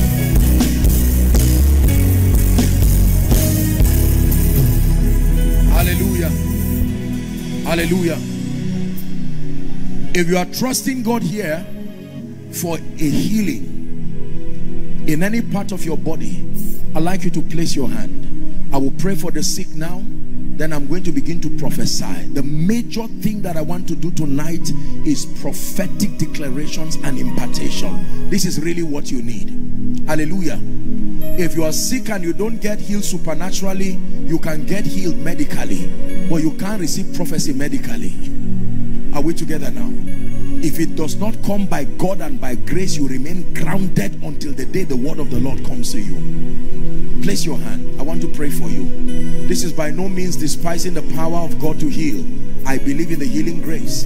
One of our precious ladies in the morning here, it was so touching, suffering from hernia and having most or all of her family members having it again. There are people who have come here, you love Jesus, but he said, I will restore health and cure. I will restore. I've taught you here that sickness is actually a measure of death at work in your body. I hope you know death is in measures. There is a measure of death that when it overwhelms you, you will have to leave. But if it has not gotten to that measure, you can manage certain things. I hope you know. An organ in your body can die and you are still alive. That's because a measure of death. For instance, cancer. They can say you have stage 2, stage 3 and you are still alive. But there is a stage it gets to. It's just a medical name. Death, like the spirit of God, is in measures. And every time sickness comes, I am telling you, the goal is not to just make you incapacitated. The goal is to keep growing like a river till it overwhelms your body. This is one of the reasons why we pray for the sick. Have been a beneficiary of the healing power of Jesus. Else this man you see, you would not even hear of any Joshua Selman. I would have died since. I know what it means to experience the miracle working power of Jesus. It's the reason why as I minister his healing power to people across the nations, I do it with passion because I know what it means. Lay your hands. I want to pray for you in one minute. Thank you for your sacrifice of your time. It will be a worthy bargain by the time this meeting is ended. Whether it's an eye problem, neck problem, a growth, bleeding, you are having liver problem. One of the demonic things I see growing among people right now is kidney failure. Kidney failure I don't know if it happens around the east here, but I have prayed for so many people in recent time, kidney failure. Although doctors tell us that many people don't drink water. So the, the caution is drink after this service, go home and drink water, whether you are thirsty or not. But there are people who, even if they drink one, one drum of water, these spirits are determined to pack up their organs. The Bible says he keepeth his bones and none is missing. He keepeth his bones kidney failure, liver problems, cancer. You find one side of your breast just swelling and you think it's just some women thing. They go and, you know, by a procedure, remove all of that and the next thing they tell you that is benign, you're having cancer. What of men? Prostate. Now young people, you see a young person with hypertension, 18 years with high blood pressure. What is he doing with high blood pressure? What is he thinking about? It's satanic. I know a lady that would eat and vomit everything. I'm not talking like regurgitating like a goat. Everything that my father has not planted within your body. I'm stretching my hands only to a believer in the name that is above all names. I decree and declare the spirits that are back of any infirmity by the power that raised Christ from the dead, from the tent, the overflows outside, the balcony, those who are here and those who are following online. In the name of Jesus I command those spirits to leave your body now. I command those influences to leave your body now. Leave your body now. Leave your body now. Leave your body now. I decree and declare Enugu be healed now. Blood conditions be healed now. Eye conditions be healed now. Anyone with a pain and if you are standing for someone, I'm seeing some of you lifting pictures of your loved ones. I want you to release your faith in the name of Jesus Christ. Hear me. Anyone having organ failure, organ failure, heart attack is killing people both young and old. People go to bed and they don't wake up. Are we together? Yeah. Any cardiovascular disease here in the name of Jesus whether it's heart palpitations a hole in your heart you are not able to breathe well in the name of Jesus I decree and declare be healed now. Be healed now severe pains there's someone you have severe pains like joint pains. You know how it happens for a sickler an ss patient where you have excruciating pain like a crisis. You're not a sickler but you have this recurrent pain. I'm praying for you. In the name of jesus what he says to one he says to all. Anyone having pain around any part of your body that pain disappears now. Anyone with a hearing problem I decree and declare may your ears be open now. Any bone problem you came here you're on a wheelchair or on a stretcher on a crutch you are not able to walk in the name of Jesus Christ.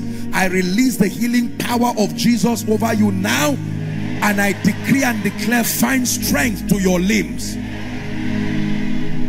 even though I'm praying for the sick anyone here called barren you've not been able to celebrate. Children I pray in the name of Jesus. The Bible says by faith Sarah received strength. The kind of strength required to make for conception and delivery. Let it rest upon you now.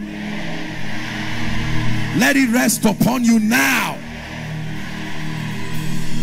anyone here with an issue of blood in the name of Jesus we declare that the fountains dry this moment. Lumbar spondylosis and all kinds of pain neurological problems. I stretch my hands. The Lord is healing someone. In the name of Jesus whether for you or for your loved one I decree and declare be healed now. Be healed now in the name of Jesus The Lord is showing me a vision of two men here. This is a challenge you have as in the manner of men. I'm praying for you. In the name of Jesus, this thing has affected your home. It has affected your marriage. You are in this place right now. You've gone to the hospital. I pray for you by the power that raised Christ from the dead. May the Lord bring healing to your body now. May the Lord bring healing to your body now. May the Lord bring healing to your body now. Any growth in your body, lumps around your breast, fibroids, and all, all kinds of satanic growth, may they melt and pass out of your body now. Don't be tired of saying amen. I pray for you, whether I mention your case or not, by the power that raised Christ from the dead, be healed this moment. Healed this moment. Be healed this moment. In the name of Jesus. Now hear this. I want you in the next one minute mention to God the specific area where you need restoration and an answer. I'm about to prophesy over your life, but so that prophecy is not careless, there is intelligence in receiving prophecy. The Bible says, Be anxious for nothing. Philippians 4 and verse 6 it says, But in everything, are we together now? Yes, be anxious for nothing, but in everything, by prayer and supplication with thanksgiving, he says, Let your request be made known. So lift your voice in one minute, mention the specific area. Some of you, you are not sick. What you need is a grace. A grace you have seen, a grace you desire. Don't be quiet. Please open your mouth in one minute. Maximize your stay tonight. Go ahead and pray. Take a minute.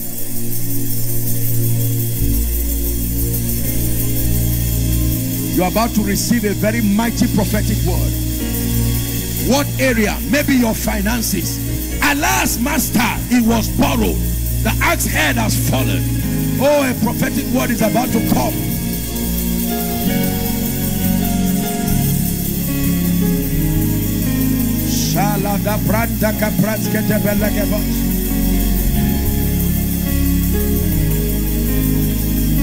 Take a minute to pray. Make your request known. Lord, I'm trusting you to give me rest roundabout. Sort my life in this area. Don't be silent.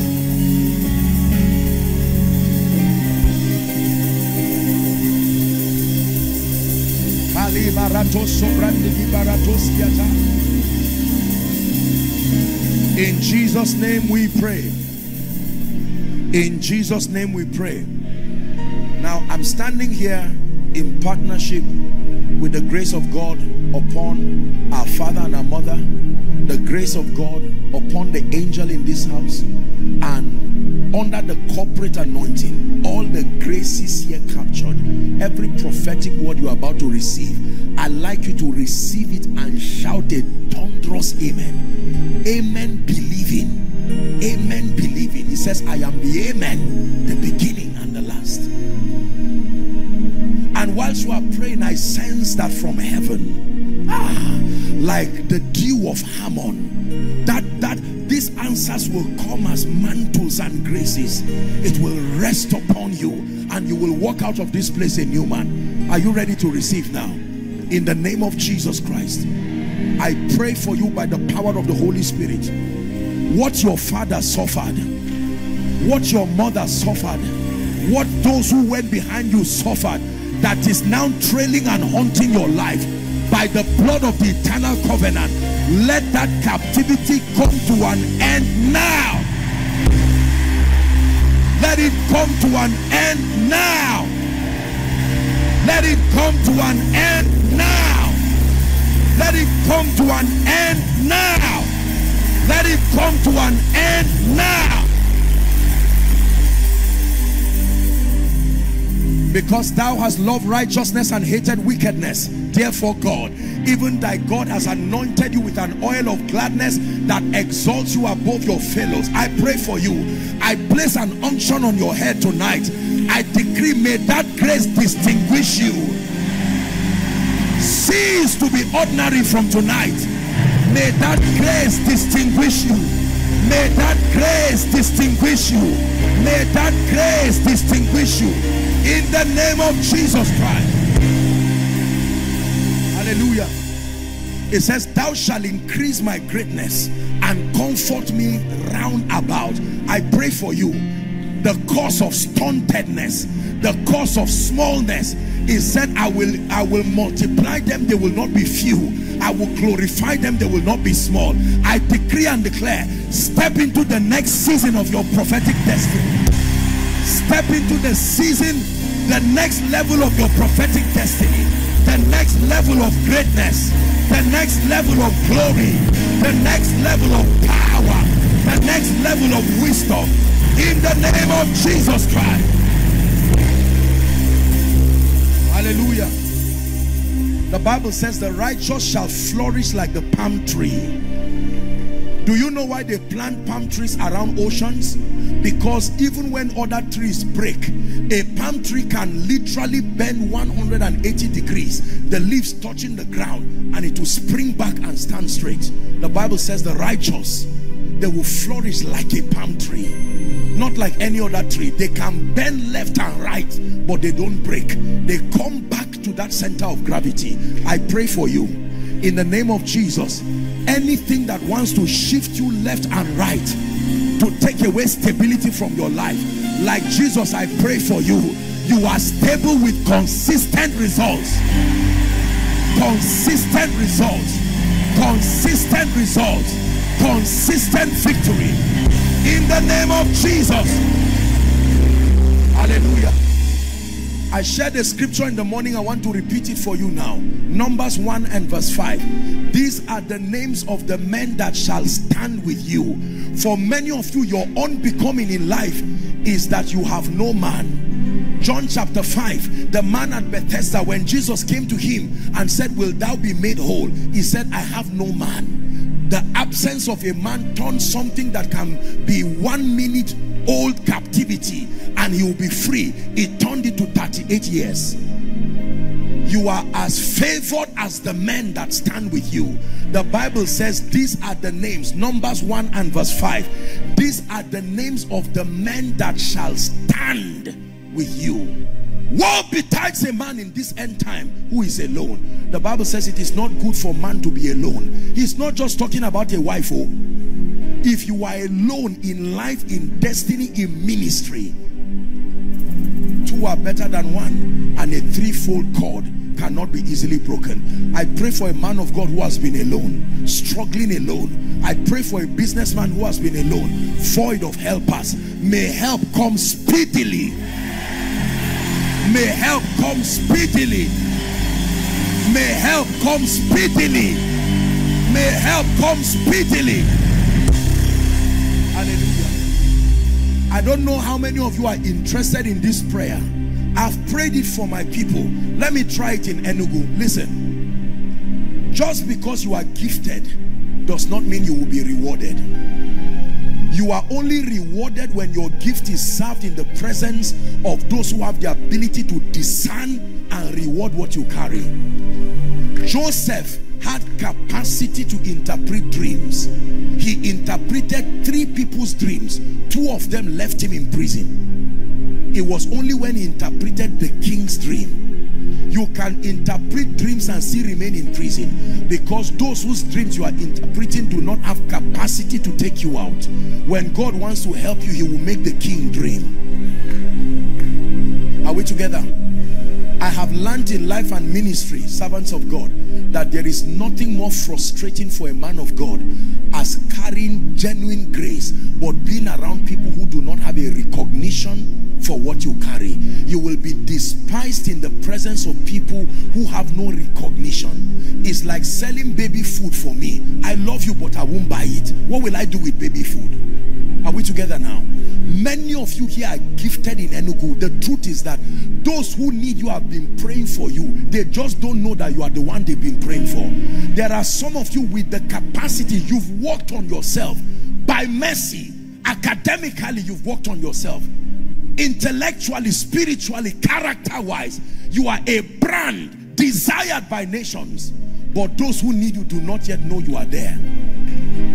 The assignment of the prophetic is like a businessman to connect buyer and seller. Only that you are not doing this for profit. Are we together now? You can be Saul, but the man who will give you bread is not in your capacity to know them. It will take Samuel to help you know. Let me tell you this. I was not always celebrated and received and honored. I've not honestly had people antagonize and despise me. I think I've had a unique acceptance of For which I am grateful. But there are many men of God I know for a long time. They carried grace, but they were in the midst of people who did not despise them. It's when they invite everybody and they are not coming. They now come and say, we don't know if you can help us. So sorry about crashing on you. Not in, so everybody has process and we grow. But a time comes in your life when your sacrifice should produce a result that consoles you. Are we together now? I've heard people speak to me intelligently. By the time you hear them speaking, and when they are done, they have to go and stand outside trying to look for transport. And I'm not insulting that.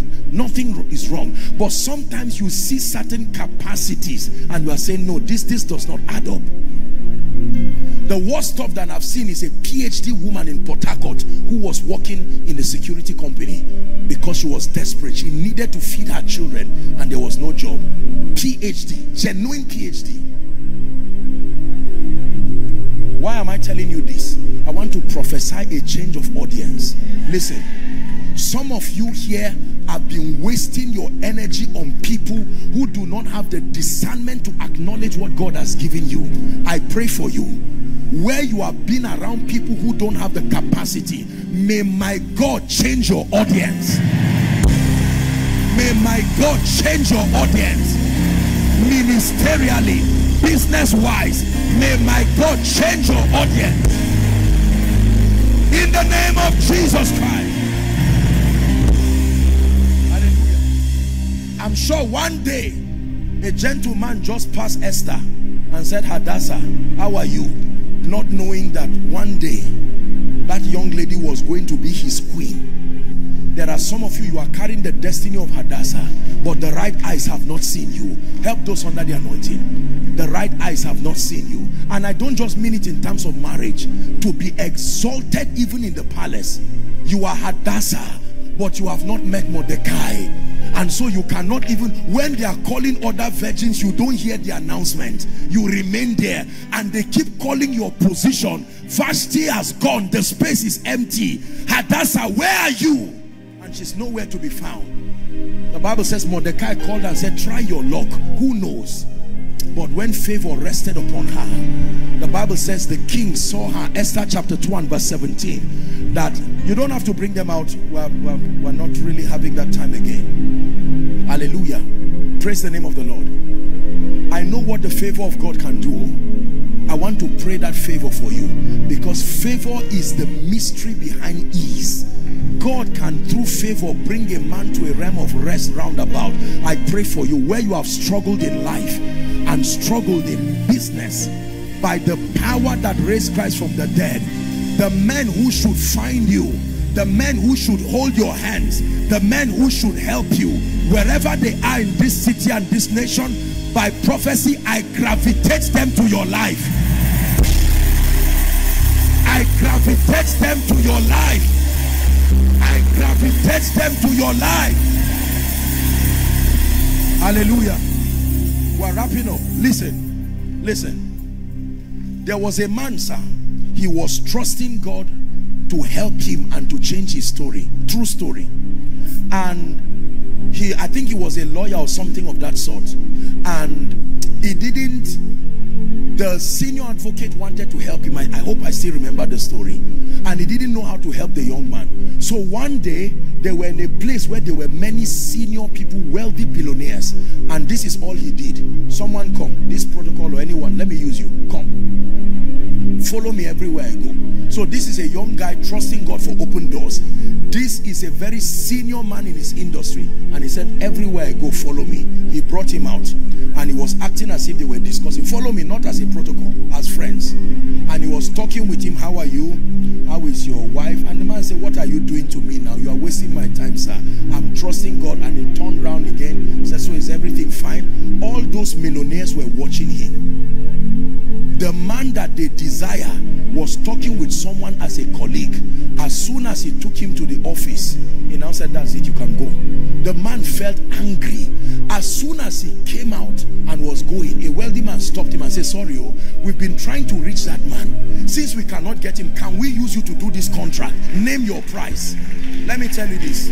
I only gave that example to tell you presence has power. There are many ways doors open.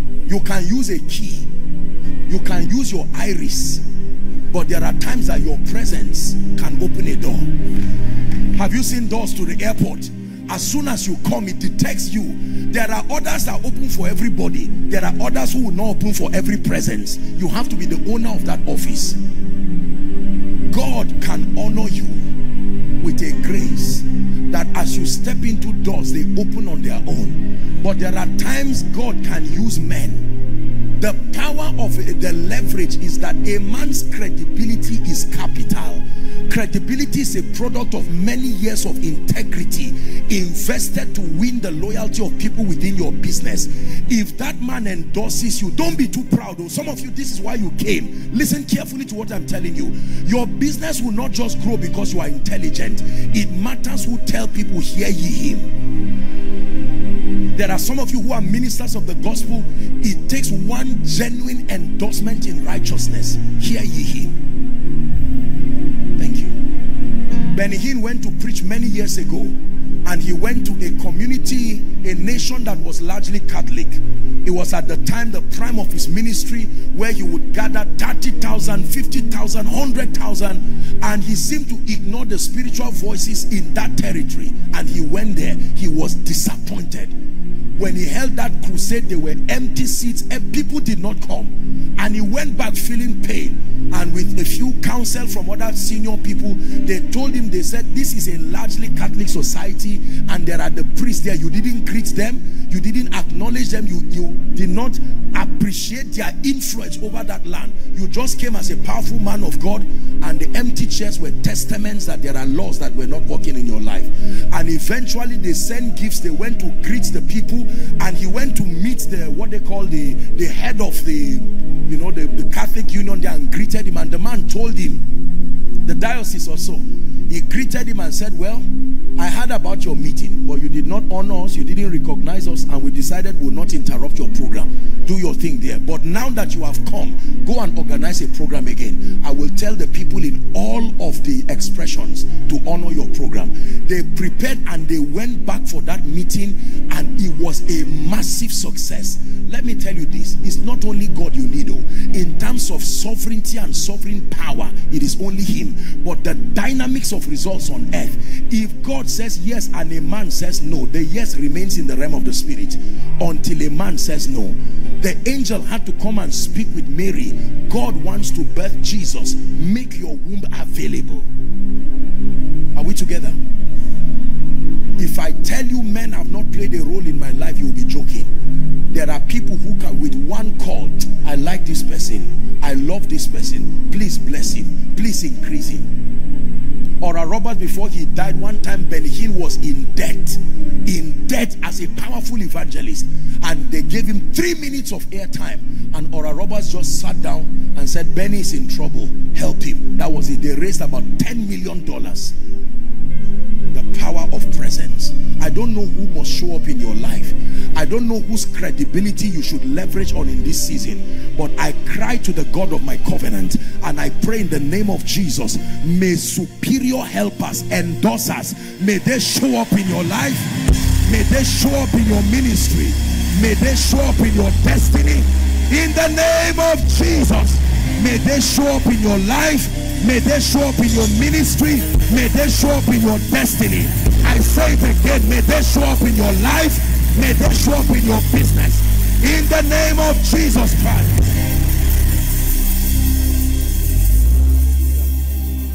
Praise the name of the Lord. Where it has been shame for you and a reproach, may my God give you double. Now standing upon the grace that is over this church, the grace is over this city. Let me speak to you now. Restore. Restore. Restore. Restore. Restore. Restore. A restoration of your joy. A restoration of your peace. A restoration of opportunities. A restoration of relationships. A restoration of graces. In the name of Jesus. Whoever left your life that should not have left, may they return back. Whatever left your life that should not have left, may it return back. Every lost coin in your destiny, find it speedily. Every lost coin, find it speedily. In the name of Jesus. Wave your hands and give Jesus praise. Restore everything that was lost. Restore everything that was stolen. Restore everything that was lost. You will restore. Hallelujah. Let me make an altar call. We're wrapping up. Lend me your attention. Please don't distract those to come out. The greatest restoration that any man can receive is a restoration of your relationship with Jesus. You can receive restoration of health, finances, but if Jesus is not the principal um, person that you are restored to, then you did not receive complete restoration. I want to make an altar call Let's minimize movements so that we allow those who need to answer this call to come. You are in this place, there's no need cajoling you. You know that you need Jesus. Your destiny depends on it. And perhaps you are here, you are saying, Apostle, I've made that decision, but as it stands now, I need to rededicate my life. Please give me the honor of leading you to this Jesus, not another one. Wherever you are, I'm going to count one to five. If you're outside, you're in here, I'd like you to step out quickly as I count one to five. At the fifth count, once this place is filled up, then you will stand right where you are. Those who are outside you may need to use your led screens. I'm not sure there will be spaces for you here. There won't be space for you. Um, all the overflows you can use the leds and then for those who are online you can connect as i make this prayer. I'm sure that the media will feed you on what to do. Let's honor them as they come. One. Keep coming. God bless you. Two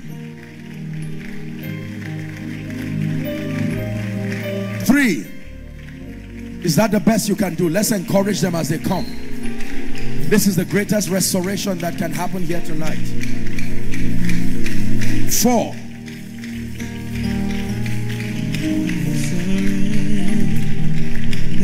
Finally, five. God bless you. I want to thank you so much, ladies and gentlemen. Please keep coming quickly. The Bible says, as many who will come to him, he will in no wise cast away. I thank you for the courage to make this noble decision even at this conference, let me request that you lift your right hand to Jesus as a sign of surrender and say these words after me loud and clear. Let him hear you. Mean it from the depth of your heart. Say, Lord Jesus, tonight I have heard your word. I desire restoration of relationship, of fellowship with you. I believe that you are the son of the living God. I believe that you died for my sin I believe that you rose again for my justification. Right now, I receive Jesus into my heart as my Savior, my Lord, and my King. I declare that the power of sin, Satan, hell, and the grave is broken over my life. From tonight, I'm a child of God. I go from glory to glory grace to grace in Jesus name keep your beautiful hands lifted father thank you for these precious ones they have come declaring your lordship over their lives I declare over your life that the grace to walk in victory, let it be yours from today. I call you bona fide recipients of the life of God and I declare you are empowered by his spirit to walk in victory. You go from glory to glory, grace to grace. In Jesus' mighty name we pray.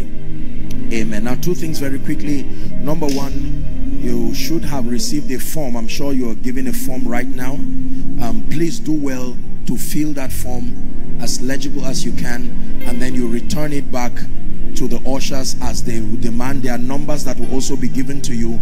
Please make sure that you take advantage of that. And there's also a little slip in your hand apart from the the form uh, with a telephone number on it just as it's on the screen. Just text new life to that number. Is that okay? Is that okay? Thank you very much. On sunday after the combined service we're going to be having a special party for all of you. So please try and be on sunday morning. In the name of jesus. Thank you so very much.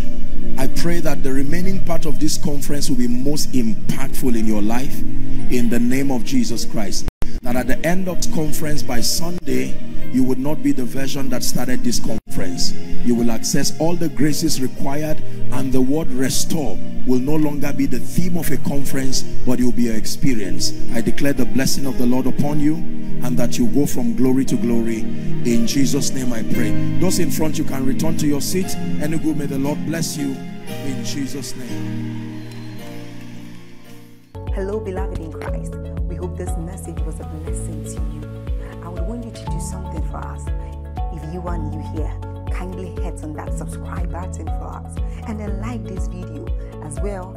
Share to your family and friends to bless them because we know that this message will be a blessing to their body to their soul and to their spirit. We would need you to do one thing for us too. Tell us in the comment section where you were watching us from. And if you've got any testimony for us kindly share with us. Thank you for watching